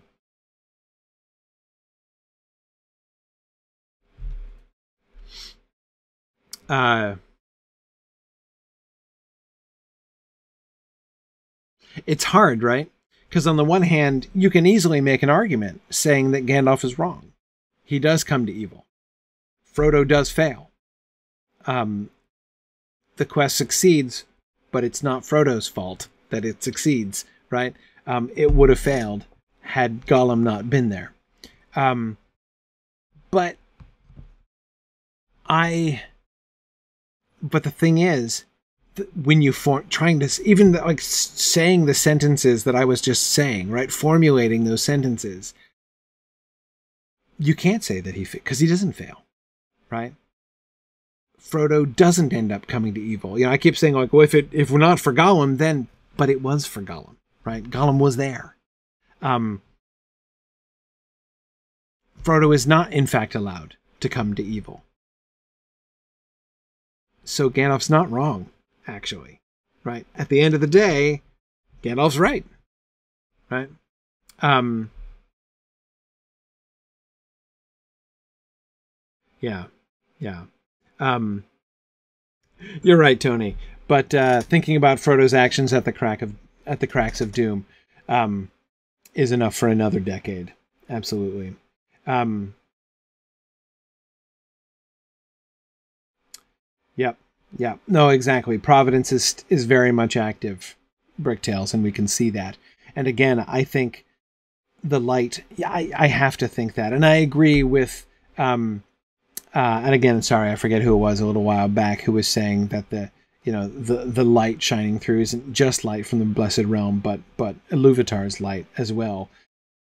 I don't see any clear textual evidence for that, but I still agree with you uh, in the sense that like when we see like whose light is it, right?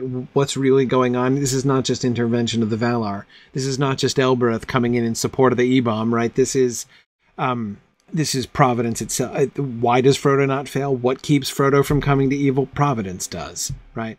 Um, and so, yes, yes, um, there is another power at work there, right? Uh, you were meant to find the ring and not by its maker. Um, I believe that that power is the power whose light that we're seeing there as well. And of course, to say is it the light of Iluvatar, the light of the Blessed Realm, is, in my opinion, not much of a choice, right? Like, why does why is there light in the Blessed Realm, right? Um, even that, of course, is reflected light from Iluvatar itself. So, uh, you know, it's uh, not much to choose, I think, between the two of them. Um, but uh, yeah, yeah. Anyway, um,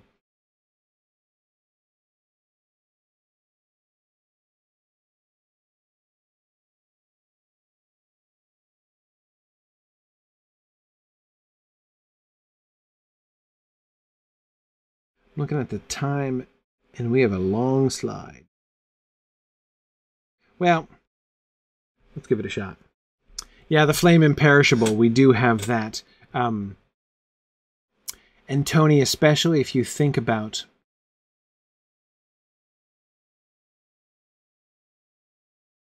the kind of uh, hierarchy, right? The flame imperishable, which is with Iluvatar. The Silmarils and the light of the Silmarils encased in imperishable crystal.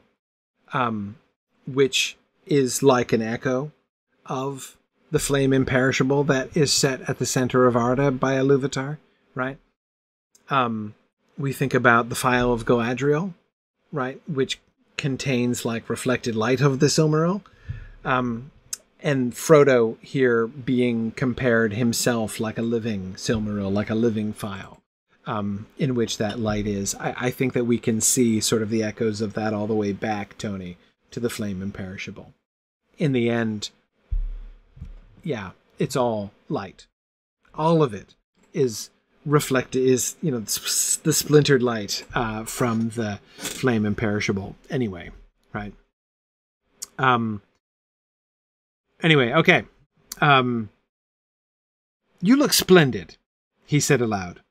I will risk a brief tale without consulting Elrond. But quite brief, mind you and then you must sleep again. This is what happened as far as I can gather.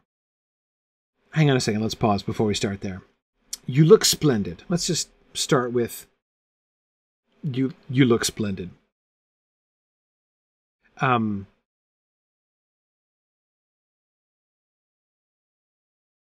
That's a really interesting thing to say. I mean, on the one hand, this is Gandalf being cheerful again, right? And building up Frodo's spirits. And also, it's not a lie. He does look splendid, right? Again, the exteriors are all like, all indicators are good, right?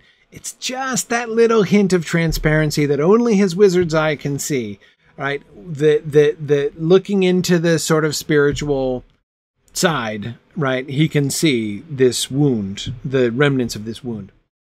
Um, and so sure, all things considered, he looks splendid. But but I think there's much more to it than that, right?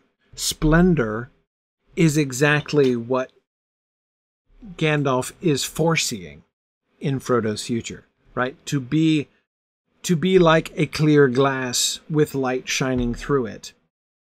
That is splendor indeed, right? That is what what it means to look splendid. Exactly, it refers to shining in light. Yes.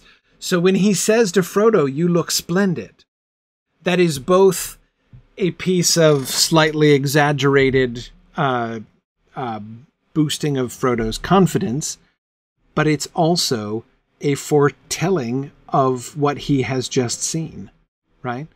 Um, he he he he looks. He is splendid in waiting, right? There is splendor in his future. Um, yeah, yeah. Um, I can't think that that word choice is an accident. I mean, it works perfectly fine as a conversational piece. You look splendid, right?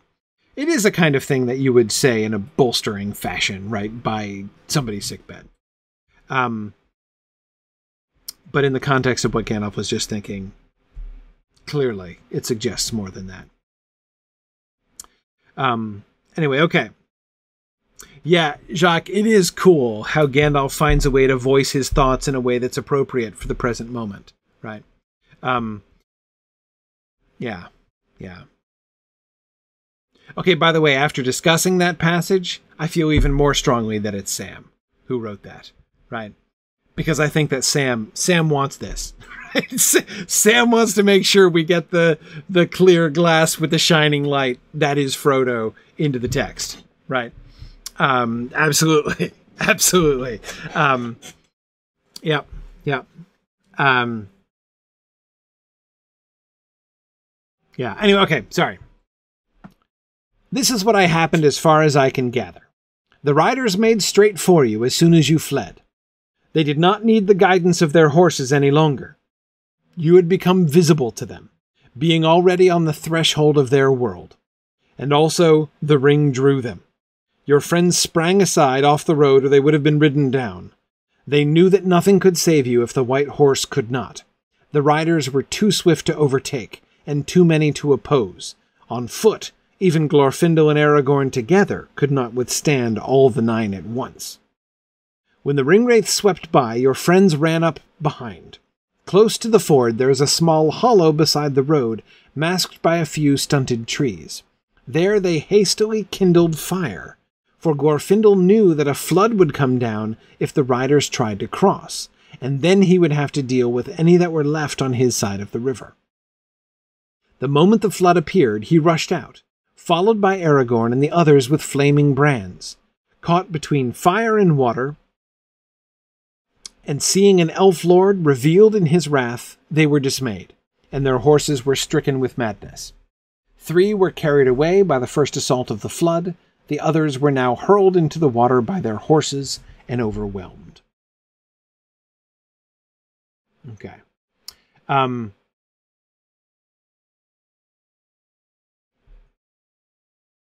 okay. First, on the riders and resisting the riders.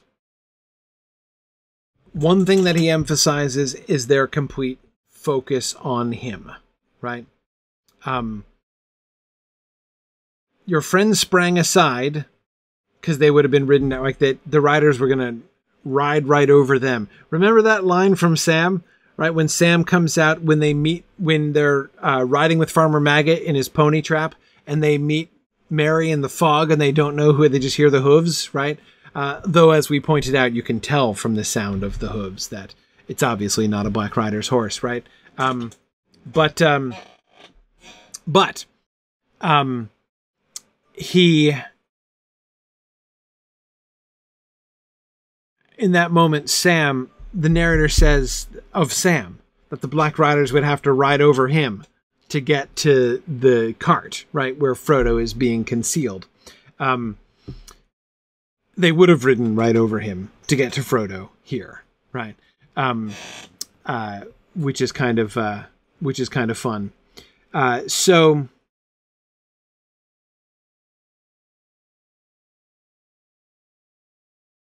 Yeah, there are several things to talk about.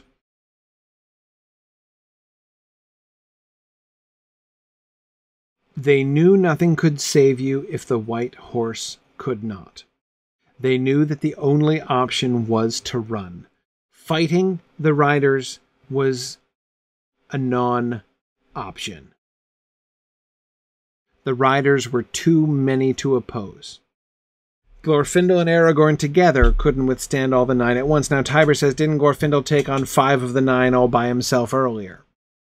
Yes, but first. They're all nine together, and that's more than an arithmetic change. That's one thing that seems clear. We don't know exactly how or why, but when when you have the whole set, when all nine of the riders are together, it's different. They are more than nine times as strong as each one of them alone when they're together. That's a pattern that we're uh, um, that has been suggested more than once, right? Um, we can even hear that I think behind Aragorn's statement why they were not all here, right after the attack on on Weathertop. Um, yeah, so they're definitely greater than their greater than their sum when they're all together. So that's one thing. Um, you could say, well, but now it's Glorfindel plus Aragorn, right? Not to mention plus the other three hobbits who also were a factor in the dell under Weathertop. But the other thing that they mention is on foot. Glorfindel, when he took on the five at once, single handedly, was also mounted.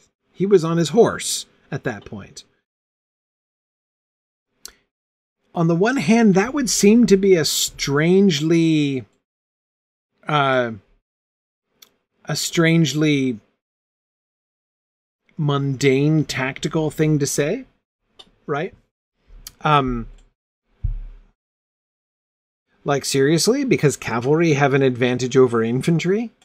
Uh, like that's why they're not going to because they don't have horses. If they had horses, right? So if Glorfindel and Aragorn were both mounted, well, then okay. Aragorn and Glorfindel mounted against the nine. Um, Thoughtless says maybe the bells weren't just bling after all. Uh, may, maybe, maybe. Um, and I agree, Belongs Mount Asfaloth is not just any horse. Tiber says, What if Aragorn had a complete sword? Exactly, Tony. What if Aragorn had a primary weapon that worked? Um,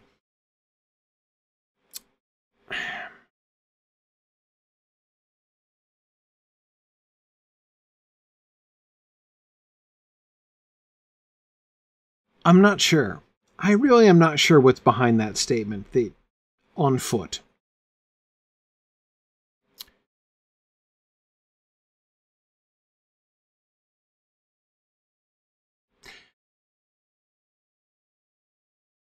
Because in general, I'm pretty convinced that when you're fighting Nazgul, it's not about traditional battle tactics, right? it's not about um, flanking your enemy in Weathertop. It's not about uh, infantry being at a disadvantage in fighting against cavalry. Um, says, would horses elevate their spiritual prowess? Yeah, I kind of think it would, right? Picture it. Picture it. You're standing on foot. Your enemy is in front of you on horseback what's the situation? You're standing there looking up at him, right? Um, he is in your enemy there, right? The Witch King is in a position of authority over him, right? It's got to impact your morale, right? I, I, I kind of think, uh, um, I kind of think it does. I kind of think it would make a difference, don't you think? Um, I don't know. I mean, that might not seem like enough by itself, and I don't. Uh, uh, I'm not trying to put too much on that, but uh, um,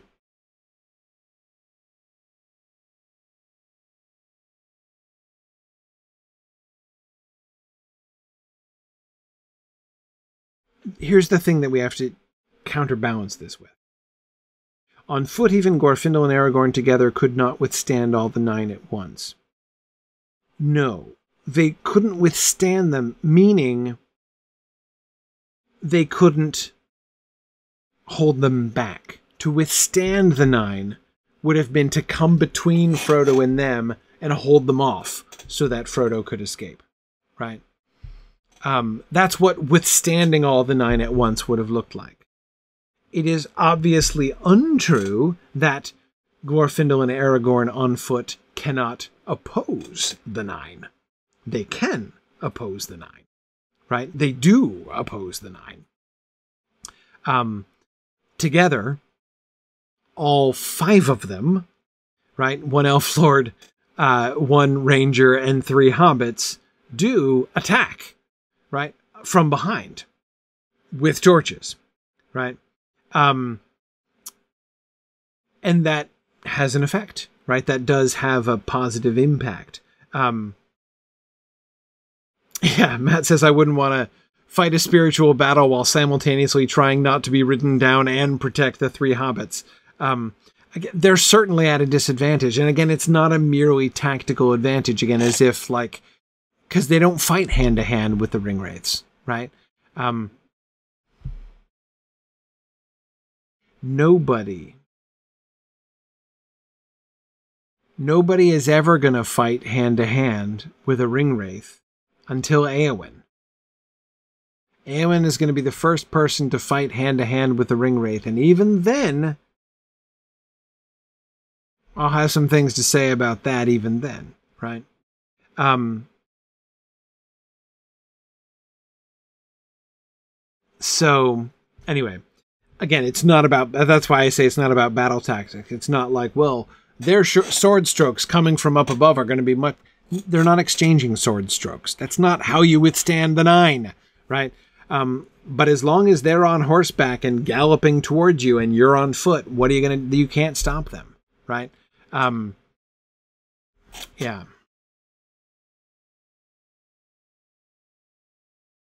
Frodo kind of does on Weathertop, kind of, kind of. Um, yeah, JJ says when the nine are galloping, they can't hear Aragorn's songs. True enough. True enough. Um, yeah, yeah.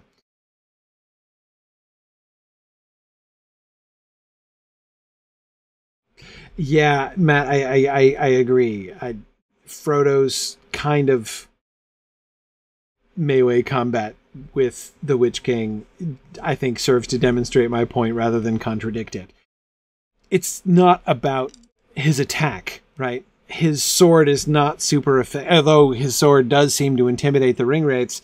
it's not. Uh, it's not about the sword. It's about his will to oppose them, as uh, Gandalf emphasizes, right? Because he resisted. Um, yeah, yeah. Um, he the drawing his sword and the attempt to stab the Witch King. It's again, it's not about uh, the battle exchange. It's about one will against another. Yes, Frodo uses sword attack. It is not very effective. No, but Frodo uses indomitable will. It's super effective, right? Absolutely. Um, yep. Yeah, the Witch King is obviously a ghost type. Um, yeah, Frodo uses Elbereth. It's super effective. Absolutely, absolutely. Yeah. Matthias would be so proud of me that I'm getting these jokes, you guys. Um, okay. And for those of you who don't, we're making Pokemon. This is Pokemon humor, by the way, right? A wild witch king appears. Um, yes, yes. Anyway, um,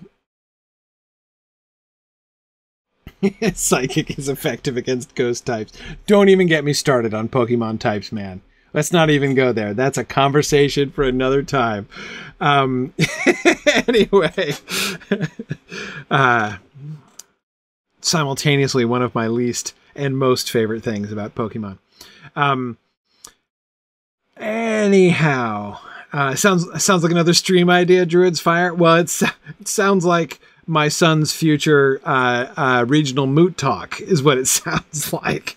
Um, but uh, anyway, yeah, yeah, that's gonna happen. Any anyhow, um, Seven approves of the turn this discussion has taken.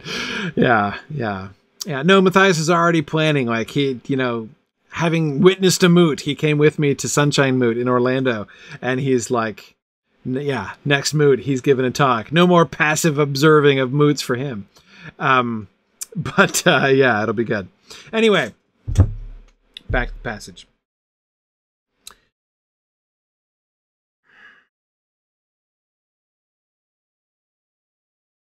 The friends run up behind.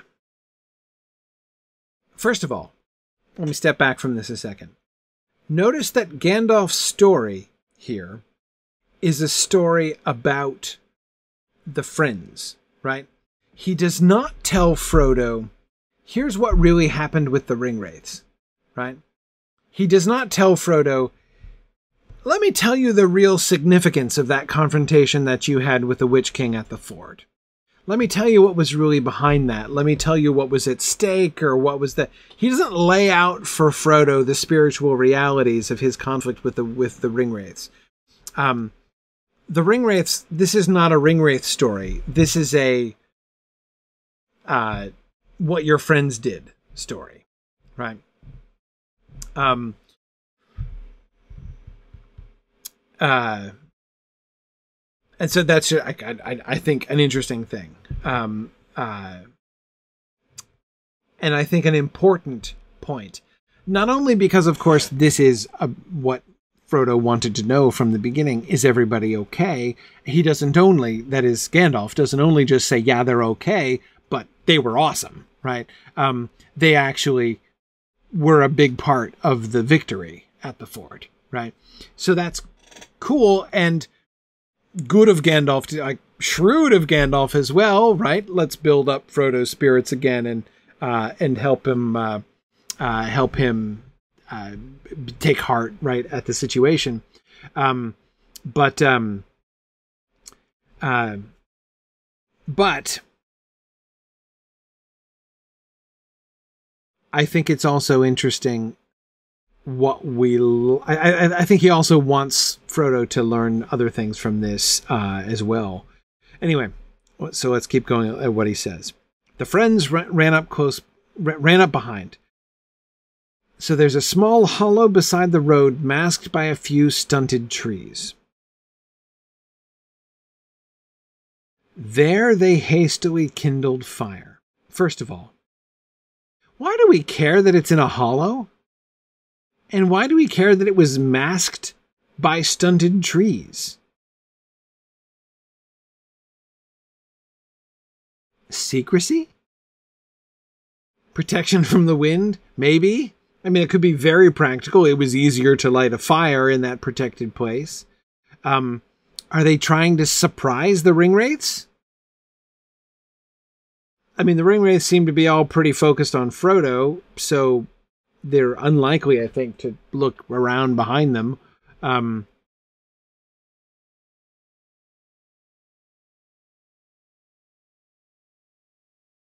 I doubt it's the emphasis. I doubt that the purpose of the emphasis is the windscreen.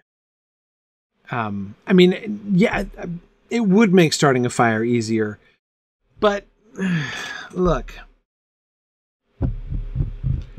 I have my doubts. They hastily kindled fire. How? How? Flint and tinder? They better have done that pretty darn fast. Look, um, I would like to include this in our reenactment of the flight to the ford. Right? I still hope to do a reenactment of the flight to the ford at Mythmoot this year. This is one of the things that so the angles that the ring wraiths take is one of the things that I'm going to be interested to sort out, right? Like the movements of the ring wraiths from the initial setup to standing in the ford, right? But the pursuit by the friends and the kindling of fire is another thing that I'm kind of curious about because I have my doubts about this. I really do because it's not just I. I'm, I'm willing to believe, Dime. I totally buy the fact that you can you can ignite flint and tinder very quickly if you know what you're doing. And surely Aragorn is as good at that as anyone, right? But they don't just kindle a fire with flint and tinder, right? They light brands. They carry fire, not candles or something like that, right? Um, flaming brands. Flaming brands they carry. They catch wood on fire. Now, this presumably is where the few stunted trees also come in. One has to think that these stunted trees uh, were sacrificed for the cause, right? It is possible that you could very quickly, within a few seconds, strike a flame in flint and tinder, and then if there's some relatively dry, dead brush, that could ignite pretty quickly because they don't have to have like big logs on fire, right? They just have to have flames. Um, so if you have a large dead wood, you know, dead bushes, right? again, hence the stunting, that could flare up and and right and not too damp, um, and not too expensive.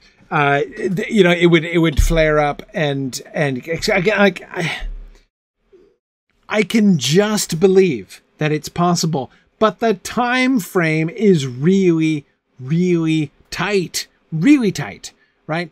They have just gotten to the ford. Frodo turns around and they have a short conversation with the the ring wraiths, right? Frodo and the Witch King don't talk for a super long time, right? I I'm kind of not thinking they're using flint and tinder here. I I I I, I gotta think that um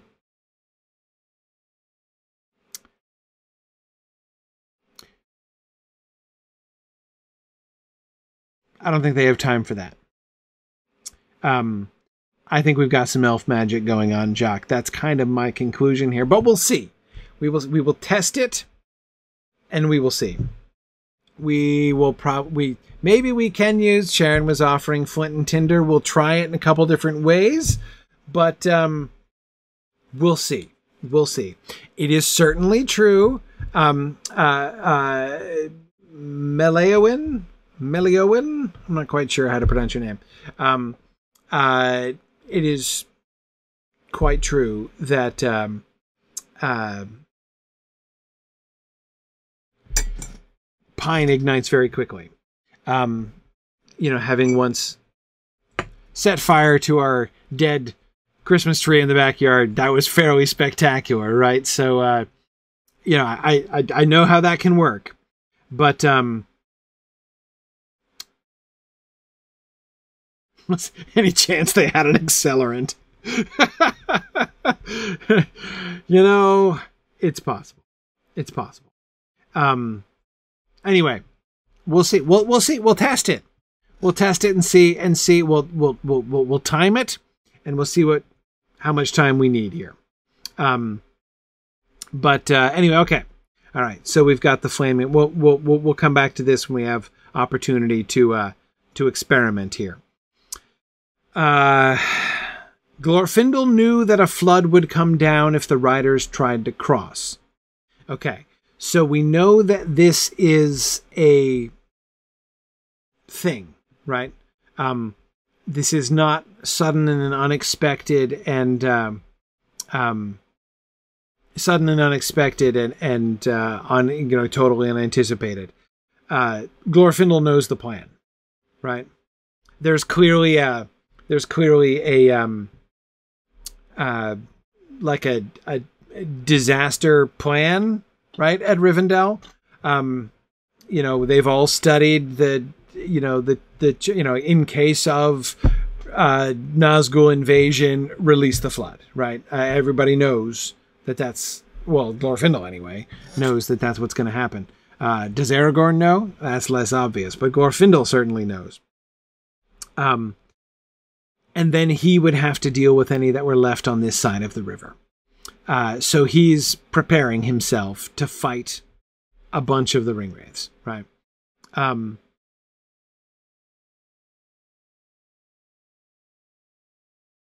the moment the flood appeared, he rushed out. He is still Glorfindel. He rushed out, followed by Aragorn and the others with flaming brands caught between fire and water, and seeing an elf lord revealed in his wrath, they were dismayed, and their horses were stricken with madness. Three were carried away by the first assault of the flood.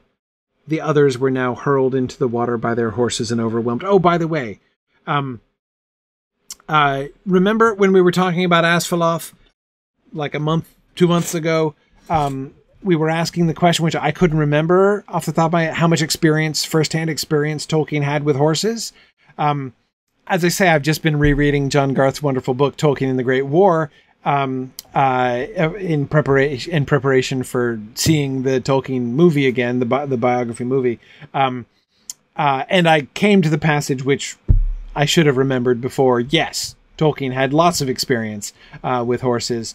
Um, in fact, he was so good with the horses in his uh, not his regiment, not the not when he enlisted for the war, but when he was doing um, uh, military stuff prior to uh, the war. Um, there's a reference to the fact that they kept like he would break in a horse, a new horse, and then they would take his horse away and give it to someone else and give him a new horse. Like he became the sort of de facto horse breaker uh, for his troop um, because he was so good at it, apparently. So um, he had a lot of experience. He knew horses pretty well, uh, and and was apparently very good with them. Um, so uh, so so yeah, that that's uh, that that was before the war broke out. Several years before the war broke out, but still, um, that that was part of his uh, repertoire personally. So so yes, Tolkien did have uh, lots of firsthand experience with horses. Um, okay. Let's see. Hang on, we have another question here. Um, oh yeah, why have the hobbits been relegated to the others? Let's see.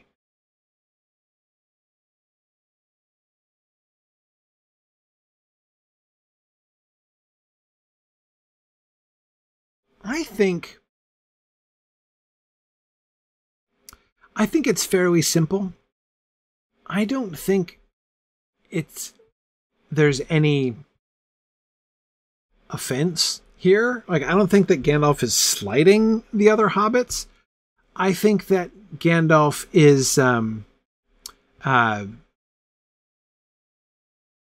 yeah Luke says, as someone who's uh, done that, that's some impressive horsemanship uh, for an English professor. Yeah, well, Tolkien was a, a spunky fellow in his younger days. I mean, this is the guy, he was, you know, uh, one of the captains of the rugby team. I mean, he was, uh, um, he was uh, physically kind of a go getter uh, in his younger years. he definitely was not, um, if you project backwards, towards Tolkien's youth and imagine him as always the like sedentary, scholarly, you know, like that was not Tolkien in his younger days. He was very, very active.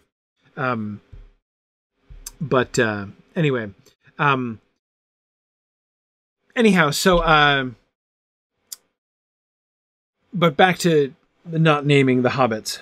First of all, it would it would be cumbersome, right, to list them all by name and also there's a kind of intimacy in not naming them, right? Like, I mean, if Gandalf were all like, and then Glorfindel and Aragorn, accompanied by Frodo and Merry and Pippin, right? That would seem a little stilted and weird. Like by saying the others, like he knows what others, right? He it's like his friends. the difference to me seems to be um, not in him kind of belittling them, but in him grouping them together, right? What um, what Glorfindel does. Glorfindel is the protagonist of this, right? Um, uh, Glorfindel is the protagonist in this. Even Aragorn is part of his his you know backup. Is like one of his backup singers here, right? Um, there's Glorfindel with Aragorn and the others. Um, I think Aragorn gets named when the hobbits don't get named because he's already named him on foot. Even Glorfindel and Aragorn together could not withstand all the nine at once, right? So he's already they they are the two major figures here, right? Them two and the three hobbits, right, and the others. So Aragorn and the others come out, pop out again with their flaming brands. Again, I think it's not about them being less important exactly. It's about them being collective, right? The three of them are all acting together and doing all the same thing. Um, yeah, yeah. Um, Mad Violinist points out that it's consistent with what Gandalf has already said, I think well of you and of the others. Um, he has already lumped uh, Sam and Merry and Pippin together. The one that he does distinguish, you'll recall from earlier in the conversation, was Sam, right? I have heard all about Sam he says, right? Um, I think well of you and the others. Um, yeah, yeah. Um, Belongspon, that is well remembered uh, and really fun to kind of project back into, to imagine ourselves back into Sam's position, right? Belongspon says, This is Sam's second Elvsir moment. Um, yeah, yeah. Imagine thinking back to the to the elves, Sir uh, Sam, right in the Shire. Uh, he had the experience at Woodhall, right? Um, where he had that encounter with the elves and the conversation with the elves and the charge that was laid upon him by the elves, right? Um, and now seeing an elf lord revealed in his wrath, an elf lord revealed in his wrath, right? Elvsir, right? There's elf sir, and then there's elf sir, right? Um, this is, uh, yeah, yeah. Um, you know, Belangsmon, this makes me think of Sam's comment when Frodo asks him, What do you think of elves now? And he says, They seem a bit above my likes and dislikes, right? Glorfindel seems way above uh, Sam's likes and dislikes in this particular moment, right? Um, yeah, no, oh, I like them. Yes, sir. Uh huh. Yeah, no, no complaints for me. I'm just not gonna get in the way of that. Yeah, yeah. This would be um, a very, very memorable moment um, uh, for Sam. I think clearly. Um, uh,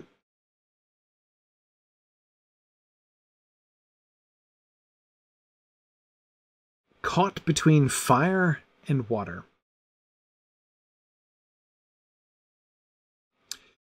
We don't know why the Ringwraiths don't love fire. Sauron can put fire to his own evil purposes, but these riders do not love it. Aragorn says. Um, it is like being caught between two purifying elements. Um, uh, Maleowen, I agree. Um,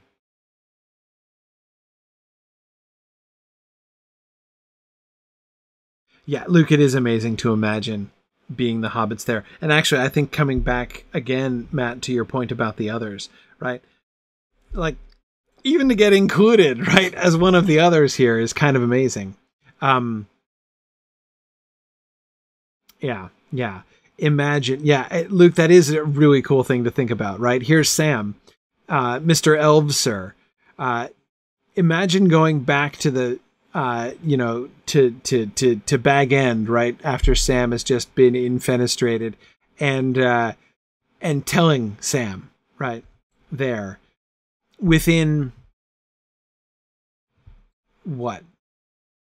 A few months, right? Within six months, um, within six months, Sam, you are going to be charging behind a prince of the Noldor, revealed in his power, uh, against the, some of the, the most terrible servants of Sauron. Right? You're going to be you're going to be flanking, uh, you know, riding at the or, you know, uh, charging into battle uh, at the side of of one of the lords of the Noldor.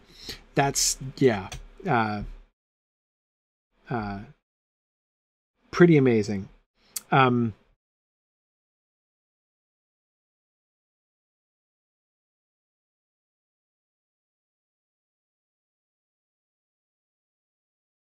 yeah, Aragorn is pointing out that uh, remember what else fire is in Tolkien's world. It's also the flame imperishable. Yeah, yeah. We can't forget that association with fire uh, with Flame as well. Um,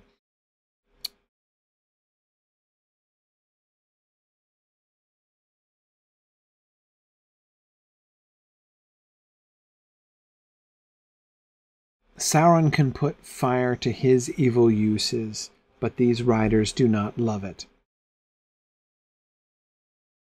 Just thinking back to that line again, it really does show how the domination of the enemy over anything, really, right, is artificial, right, is fake, is fraudulent, really, right? I mean, it's all a deception. It's a deceit of the enemy, as Galadriel says, right? Um, fire isn't evil, right? Yes, it's destructive, but it's not bad. It's not evil. Sauron can use it and he can associate it with evil, right? I mean, it's even part of his logo, right? I mean, the flaming eye is, I mean, there's fire associated with, uh, uh, with his very like iconography, right? Um, and yet he doesn't own fire, right? That's a lie. That's fake. Um, fire is something that his servants are afraid of, right? Um, fire in its, you know, in its true form is like it, it's those things which the enemy seeks to enslave. Um,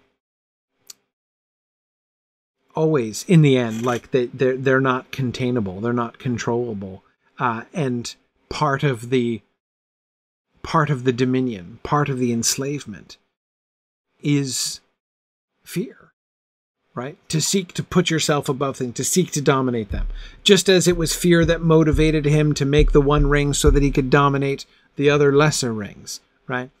Um, so even there's, it's almost like this, the fear of fire is almost like a natural result of the way in which, or like a corollary to, perhaps, um, the way in the, the the fact that Sauron seeks to dominate and use fire.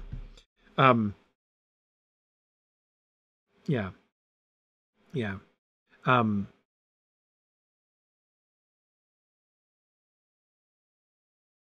yeah. Okay. Um, it's getting real late. I should uh, I should stop.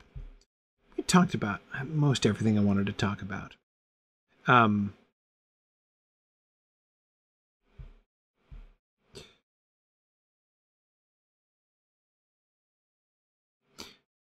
Okay, there's one more thing that I should mention, but maybe we'll come back to it next time. Remind me at the beginning of class next week to talk about their horses being stricken with madness. Because we need to talk about that. We need to talk about their horses being stricken with madness. Okay, but anyway, it's late and I'm in trouble. So let us conclude our discussion of the text, and we got through about two and 2.9 slides tonight, perhaps. So that was pretty good.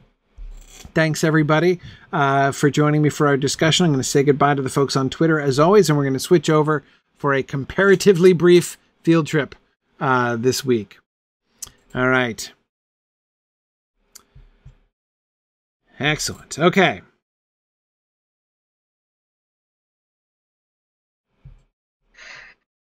Good evening. Good evening. Here, let me just double check. Uh, Valoria, say something again. Uh, hello. hello. Okay, Check, good. Just check. making sure your audio is coming through. So it is. Yeah, my yeah my, my volume got wheeled down a bit. I hate this cord. That's all right. Okay, cool. Um, all right. Very good. Okay, so tonight we are uh, just about done looking around Rivendell, uh, and Frodo's not even out of bed yet, so that's a bad sign. But um, that's okay. Uh, so, but here we are. I'm glad, and we're going to go back to Rivendell because there's the place we haven't been. Okay, well, we haven't been to the place that you have to have rep with Rivendell to get into. So Uh, yeah. we're not going to be able to do that. Um, because Not on Narnia this has server no at rep. any rate. Yeah. Uh, and I think for Narnia, not on any server, but um, uh, anyhow, the, what we haven't seen is Arwen. We need to go see Arwen. Uh-huh. So we're going to start there tonight, and then maybe head up into the mountains. We'll see if we can meet Ar. We'll see if we can meet Arwen and Gloin tonight. But at the very least, we'll see Arwen. If it takes us a while to see Arwen, we'll just do that. Um, and we'll save Gloin for next uh, for another time. But uh, All right. we'll see. Sounds good. I'm still laughing that we managed to get Pokemon into this. I've been doing this with these these these uh, talks to you online for how many years, and I never knew you knew that much about Pokemon. I'm learning all the time. You know, I uh, I I I have a good teacher. Um, yeah, kids Uh, get interested in something, you're gonna find out whether you want to or not. oh man, yeah. No, I uh, um, yeah, and it's it's a lot about personality too. Um, Yeah, uh, you know, I have uh, one son who knows everything about airplanes, and another son who knows everything about Pokemon, and uh, Uh, Mhm. I still don't know much about airplanes because my airplane son is uh, uh, not very talkative, and he's one who internalizes his interests and uh, you know uh, Mhm. doesn't Yeah, I do. doesn't feel compelled to share. You know, uh, does not Yeah, derive the, the- the intrinsic pleasure out of sh- out of sharing. Yeah, I got the one who knows everything about the Nintendo company from its uh, conception to current. And Lord, if I can keep any of that straight. And then I got the one who's, you know, right now I'm just trying to avoid end game spoilers, and she's trying trying her hardest not to let anything loose. yeah. And I keep saying, "Why don't I just go see it?" No, no, you have to see Captain Marvel first. It won't count. Uh huh. Okay. Yeah. Yeah. I um. Uh, I, that's actually the struggle that I'm in currently. I have not seen Endgame and will not because I've not seen Captain Marvel, and I'm really grumpy with the Disney Corporation because they're withholding uh, Captain Marvel video, presumably until their stupid new streaming service comes online. Um, so I think I'm going to miss Well, Endgame still in in theaters. theaters. Is Cap- Well, Captain, Captain, Marvel still in thea- theaters. Is it? Yeah, yeah. It's only been in. Okay. The, it, they released it like one after the other. It was kind of crazy. Okay. Well, I'll see if I can see. Maybe I can see them both still. Uh, Yeah. I know. Just in time for Detective Pikachu, right? that's coming out this weekend as well. So uh, yeah, uh, this is a big week for movie releases in the in the Olsen family. You know, uh, yeah. the Tolkien to was released, and Detective Pikachu comes out. So yeah, Yeah. exactly. Um, yeah. All right. Um. Cool. All right. So I think we should mount up to go uphill here. Um, Yep. Now, Luke, I do. I'm sorry. I have to see Captain Marvel on because Captain Marvel, the character, is in Avengers Endgame, right? Ergo, I have to say, I'm sorry. I am a completionist. I can't. I can't not. Do. This is why I've seen no. Um. Oh, hang on. This is not the way. Where do we go? I don't even remember from here. We've got Uh, to this way, I cross. think. Yes. We got to cross. Yeah. We gotta go across and then up the hill. Okay. Um, this is why I've seen no X Men movies like at all. I've seen the first two, I think, and none since then. Yeah, I've been I'm with really you on that interested. Like, I, I, I, I, I would really be interested to see Deadpool, for instance. But as soon as I discovered that Deadpool was an X Men world movie, Uh, no, I'm no, like, no, no. That doesn't nope. count. No, no. That's a totally different Deadpool. I'm sorry. Totally apocryphal. That's the I'm s- apocryphal Deadpool. I understand, but still, like, I can't see that movie because, like, it makes references that I don't get and I can't handle it. So, I mean, remember, I went back and have watched all 26 seasons of the classic Doctor Who because I couldn't handle just watching the new Who and not knowing any of the, uh, any of the rest of it. So, which I'm almost done, by the way. I am halfway through season 26. I've almost finished the classic That is impressive. Yeah. Yes, the, some of the Douglas Adam ones are one of my favorite episodes. I love that. Oh yeah, I, th- those Yeah. were really well written, and I I l- absolutely love uh, uh, Sylvester McCoy. Uh, he is in my top tier of doctors. I uh, uh, I'm a huge fan of McCoy's. Um, Uh, I have trouble watching Peter Davison though because he was in All Creatures Great and Small, ah, which is all that I would watch. That's the only like you know my mom wouldn't let me watch. We were we were Star Trek only ah, family, so Doctor Who was verboten. I see. Okay, sorry, I'm pausing by this guard here. So okay, so we come to this turning of the Mhm. ways. Um, Okay, and we're gonna we, we would carry on to the right up there if we were going on to the mountains and then Mhm. here's there's this one guard down here yes.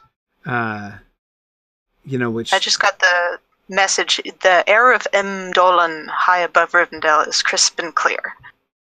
oh that pops up on your screen when you go up that way does it Uh, must be related to some quests I was doing, but okay oh i I thought it was interesting flavor text. we don't there's no guard down here so it makes me wonder i mean i assume these are like uh arwen's bodyguards Yeah, um maybe. Did they come with her from Rivendell, or they come Well, with her I from have to think so because we not only have a guard down here, but we saw Mhm. there's that guard who's pacing up and down the path, right? Yes, doing his rounds. Yeah, and we haven't seen that. Like, I don't think we see. He doesn't. Does he go down here? Does he go all the way? It I think he matter. turns around at the gate. Yeah, and I'm thinking, but I'm thinking none of these people would be here if not for Arwen being up there. I mean, there's nothing to guard. No, but it is vantage point. Oh wait, there is this guy over here. Look at this. Where's he coming from? What is down here? There's a path here. Where does this go? Oh, I don't know. Oh, hang Didn't know there was a path here. Me neither. Uh, cliff. It goes to a cliff. Scenic overlook? Sort of scenic overlook. Yeah. Well, you're watching the pass that goes down. It does overlook the path. Yeah, that's true. Yep. It doesn't, like, yeah, we've got this dirty great tree in the way, and it doesn't really kind of obscures Riven. You can kind of see Rivendell peeking out through the trees below. It's, I uh, bet that tree grew up without them really taking notice until it was too late. And they're like, oh, now we can't move it. now we can't move it. Yeah, I mean it's what it's evening. Okay, so it's, Yep. we're not going to get daylight anytime soon. Maybe we could see Rivendell better if it were daylight uh, in the game, but um, but uh, anyway, um, yeah. Well, sorry, I'd never. Yeah, I'd never noticed this path either. That was a little strange. But anyway, okay, so we've got this guard who's pacing up and down here. But again, like, are there always guards pacing around up here? Is this just part of the northern defending the northern approaches to Rivendell? Misty Or- Mountains are pretty treacherous and still has some pretty bad stuff in there, so I wouldn't be possible. surprised there's guards on this side. It's possible. I'm just trying to figure out if Arwen gets bodyguards. Is my main question here. Let's see. Well, do these get, do they even get names? No, no. I'm not seeing any names on them. Nope. No, they're pretty generic guards. Yep.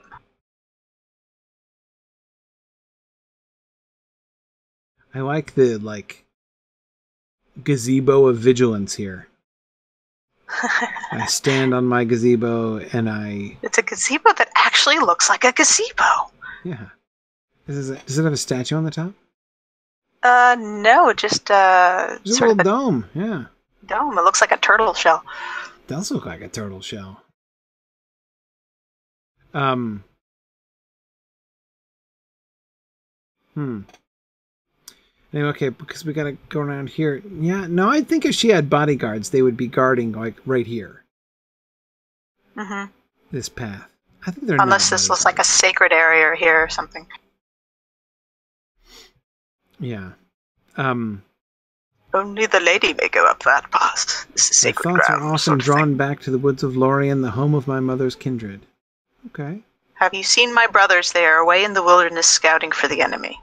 Yeah. Yeah, they kind of wouldn't shut up through like most of the Trollshaws. Oh, there we go. Have you seen my brother? Kept sending me on menial tasks. I have but lately returned to Rivendell, my father's house. Have you seen my brothers? Okay, is that it? My thoughts are often drawn back to the woods of Lorien. Hmm. Home of my mother's kindred. Uh, let's see. So, observations about Arwen. Arwen is Sleeveless. scantily clad. Yeah, showing a lot of skin. Arwen is, which is a little We're surprising. high on the cold, crisp air. well, they just mentioned that's how cold and crisp right. The air is cold and crisp. Um, yeah, we do get a lot of hope here. I'm Yes. at hope nine right now, standing near Arwen. And I think we, yeah, we were Uh, at what five down below. I'm four, but I'm a gloomy elf, so I probably don't get much up. Oh yeah, okay.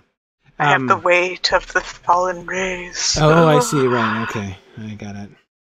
Um, Yeah, she's wanna- not. the sleevelessness. Yeah. I don't want to read too much into that, but have we seen the bare shoulders of any other elves? No, I was just saying the costuming involved. She it seems to def- defy most of the standards of costuming in the game. Yes. I think there are some like bodice related sleeveless dresses that are cosmetic for purchase, but none on an NPC. Yes. So it almost looks out of place.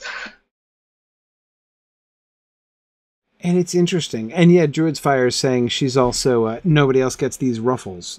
I mean, her dress is also very fancy. She has a very wide stance. Look how She far apart her feet are where she's standing. She, looks like she's having a braced for action. Yeah, she's not. Yeah. yeah, yeah, I mean, look at look at everyone else. Look at how how we're all standing here. yes. All flat-footed, and we could all get pushed over at a moment's notice. Arwen Mm-hmm. is. Just try to push Arwen over. Um, no thanks. Well, I mean, not too hard because you might push her off, but still, like the point is, again, she's braced, right? oh, Um, I get it. We're here for our training with her, right? That yeah, exactly. works? She's trying to show you how to like center yourself and and and yeah. Um, with her brothers, I'm not surprised. And what's the? Sorry, I don't want to get into the personal space of Arwen, but what's on her head? What's this? Uh, looks cap? like a, Like a little lace it- cap? Yeah, it looks like a, a, a what we would call a Juliet cap, but, but right, right. Presumably, the elves have another name for it. And yeah, wow, does she have green eyes? Her eyes Oh, yeah. are really green. I never noticed that before. Like the green elfstone, like barrels. Uh huh. Yeah, that's really great because that is a very similar shade to the green of the Elfstone. I was I'm just remembering because when I in my Wigan marathon over the weekend, I was just at the beginning spending some time uh, appreciating Aragorn's ornaments, right? Because of course he's wearing them all. Uh, right Mhm. after the Battle of Pelargir, he's wearing the Elfstone on his breast. He's wearing the Elendilmir on his forehead, uh, and he's got the the scabbard, right, and Anduril. Mhm. Um, yeah, yeah. Um, I don't think we get any reference to her eyes. I mean, we get so little about Arwen in the book. We get so little about anyone. Why is Arwen special? that's true. I mean, as far as physical description, that's true. But yeah, I'd, like the Elfstone. I, you're right. It's got to be a, an Elfstone connection. That's, um, that's really brilliant. If they did that on purpose, huge kudos uh, for the green eyes there. Um, now, Trifle says we're told that she has gray eyes and dark hair. So does everyone. So I'm not surprised Yeah. they took some liberties there, and good for them. Yeah, and I like it. I like the green eyes. Yeah, I I think it adds some personality. Well, and and the connection with the elf stone is really, you know, of course, it makes me think of Aragorn saying, or Bilbo rather saying, you know, he insisted I add a green stone. Um, That's Yeah. the, might be their inside joke then. yeah. Oh, That interesting. he's the Elfstone and lace she's got is Elfstone eyes. yeah, right. Elfstone eyes. Um, uh, says the lace cap is mentioned in the book too. Yeah, that's great. So you know, here we'll get to the description, the the details of the description. Um, I'm not sure what to make of her sleevelessness. Yeah, it, it, it doesn't seem to make sense in the context. Well, in the context of her standing up here at high altitude, no. Yes, Uh, yeah. No. Um, though, you know, you know, she Also, yeah, keep in mind it's tough, December, you know. too. It's also December when she's up here. Because that's when we're supposed to reach Rivendell's December. Yeah. Uh, Taweth says maybe it's to show off the white arms. Yeah, she does have white arms, doesn't she? Could be. And see, now I want to see how how do they dress um, Luthien in the statues? We'll have to go look more carefully at Luthien's dress. hmm I think they give her bell sleeves, but I'm not positive.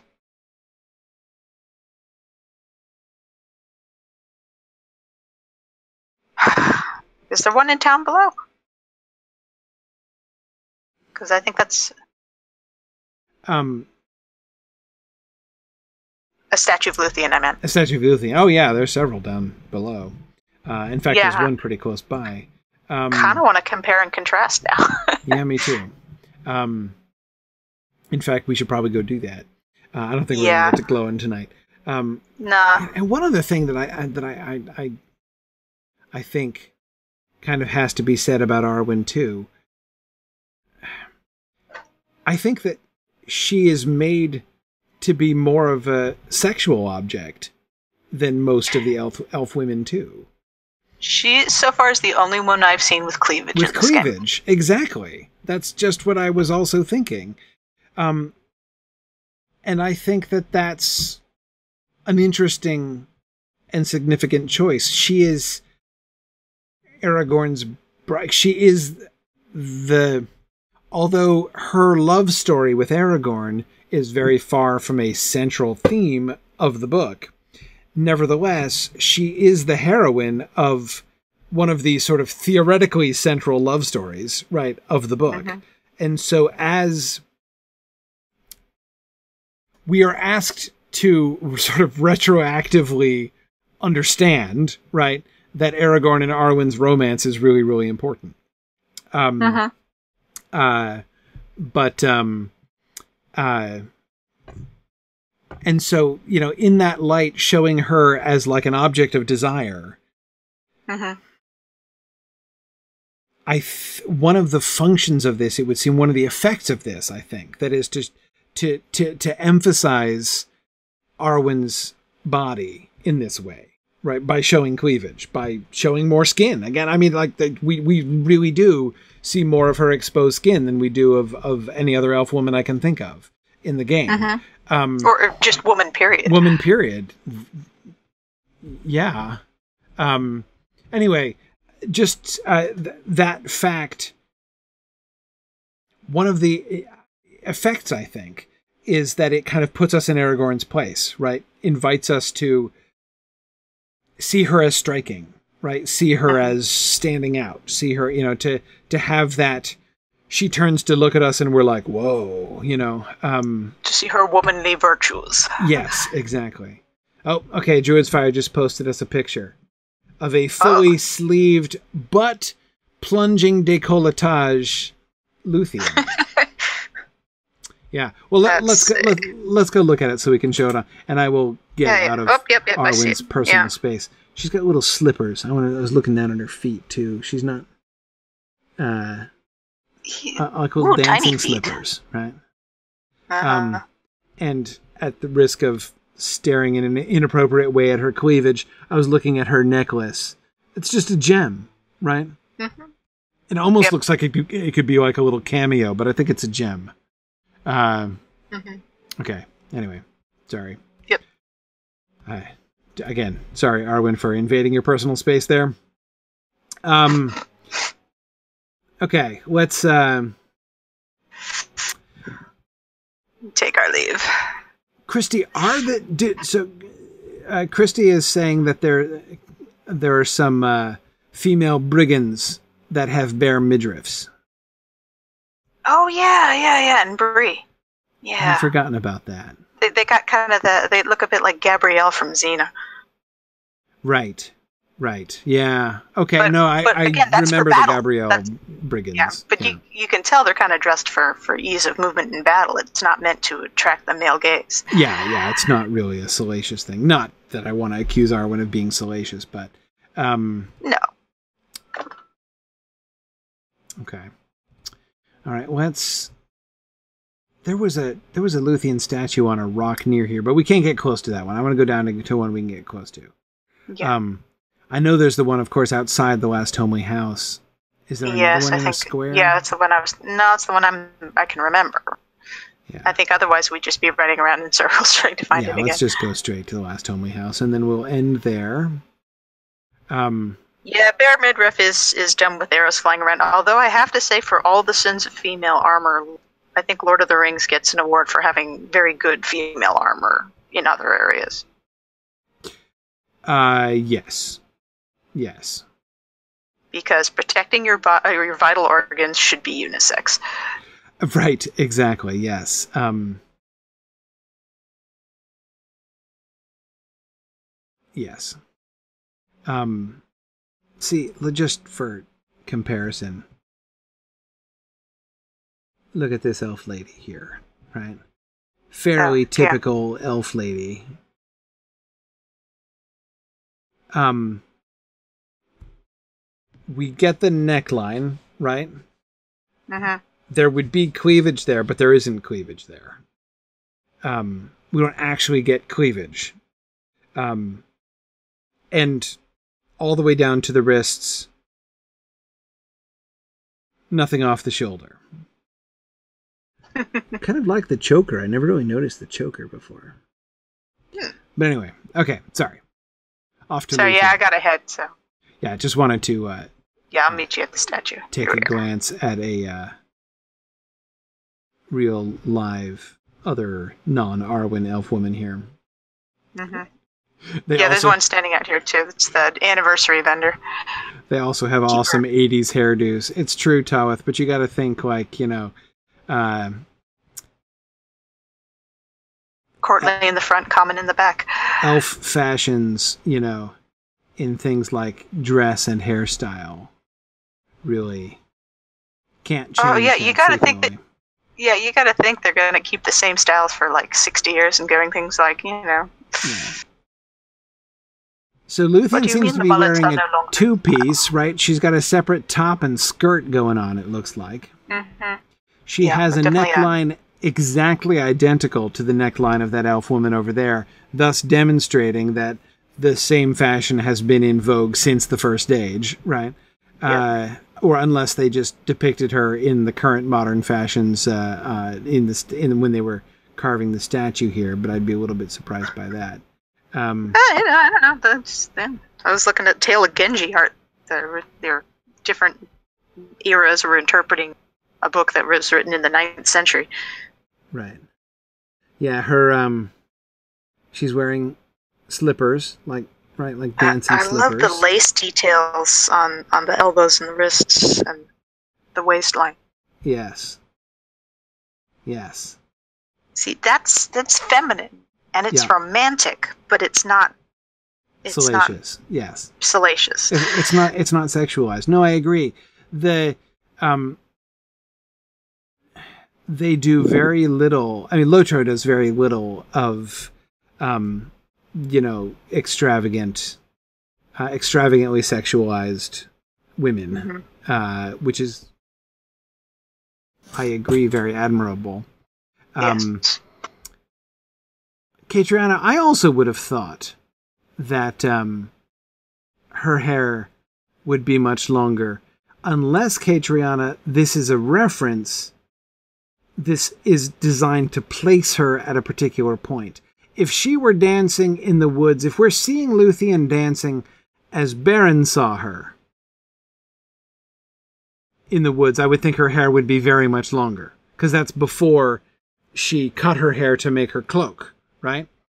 The fact that her hair is only just below her shoulders, she's kind of tipping her head back. So if her head were forward and her chin down, it would be barely below her shoulders, right? Um, Yeah, it's not quite like shadow following. It's something much more Ex- uh, brief than that. exactly. Which means that chronologically, in the Luthien story, this would be a scene from later after she flees from Doriath to go and rescue Beren, which means that my um my vote for what ac- what actual scene is being depicted here, if an actual scene is depicted here, it would be dancing before Morgoth. Mm. It's certainly more makes it much more heroic statue as well. Yes. Yes.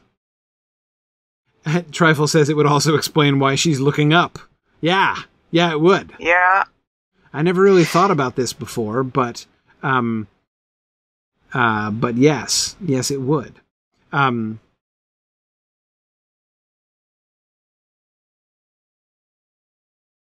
slightly less joyful dance. Than, yeah.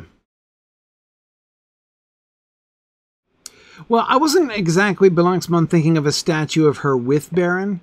Um but that's the other moment, right? That's the other moment, like the other Luthien moment. I think that you would want to Uh-huh. capture. Like I sort of imagine. I admit that's the first thing I always thought of when I um, saw this this statue of Luthien dancing. My first thought was, this is kind of cool because you come across the statue of Luthien dancing, and it's like Beren coming across her dancing in the wilderness, right? So you know when you when you come here and you know to the last homely house, the first thing you see is like a memory of what Beren saw looking between the trees. Um, yes, So- who is this dancing maiden exactly. mystery? So I think that's pretty cool, and I think that And is I think what I always thought about that. it. But yeah, I agree. The hair thing suggests. That, I mean, it, it would still work for that, but uh, the hair thing. And notice even the hair is is uneven, Mhm. right? Like it's not just short; it's short and ragged, as if like she Yeah. cut it herself, right? It, it's that's the sort of hairstyle you get if you put your hair in a ponytail and then cut off. and then tail. cut off the ponytail. Yeah, exactly, exactly. Which is most likely something like what she did, right? When she cut her own hair and wove the cloak. Um. Now I know that she in the story is able to control the length of her hair, so you know to think of her as cutting off her hair and then having to wait for it laboriously to grow back, uh, because and you know having it look embarrassing for a while is I know not really in keeping with the kind of relationship that Luthien appears to have with her own hair uh, in the story. Um, but still, I think it's uh, it's interesting that it seems to evoke that. Um, uh, but anyway, um, yeah, b- uh, still thinks that the elves probably wouldn't want to put into stat to capture in the statue uh, the moment when uh, you know the man came and took her away. Um, yeah, yeah, Well, uh, keeping in mind who who she's related to, though, yeah. Oh, absolutely, absolutely. Yeah, and It's- she's one of the great heroines of the Elven histories. So yeah, yeah. No, I think uh, with Morgoth, I think that's je- that's definitely what I want to, especially with the looking up. I like that.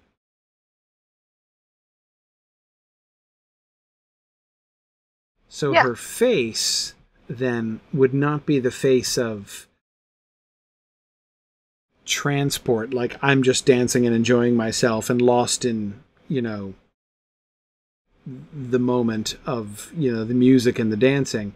This is the this is the look of defiance, right? Looking into the face of Concentration. Morgoth. Yeah, yeah, like and that. slight fear.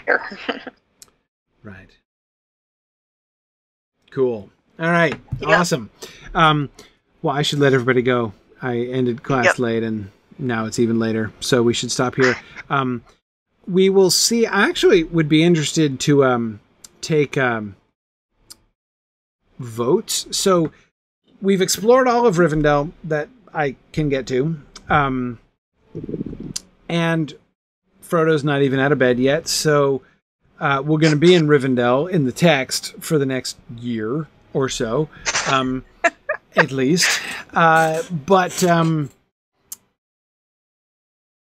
what would you guys like to do next? There are a few options. We didn't finish Angmar, right? We could go back to Angmar. Uh, we could continue.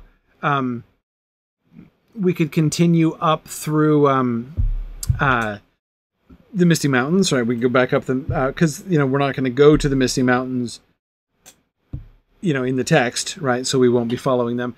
Celondim, yes. Uh, Penloth, I was thinking of doing Celondim because we haven't really done Celondim. I was kind of saving that for when we were in Elf Country, so we can do that too.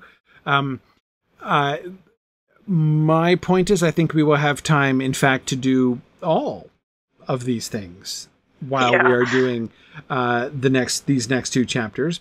Um, so really, the question is just what you guys would like to do first of all of those things. So think about it. We can talk about it next time, um, and uh, uh, uh, we can uh, we'll we'll decide next week. Um, anyway, thanks everybody. We'll see you guys next week, uh, and um, uh, and thanks for joining me. See you guys later. Bye, everyone. Bye. Thanks for joining me on this epic exploration of The Lord of the Rings and of Standing Stone's video adaptation of Tolkien's story. If you are having even half the fun I'm having on this journey, I hope you will consider supporting the project by donating at signumuniversity.org/fund.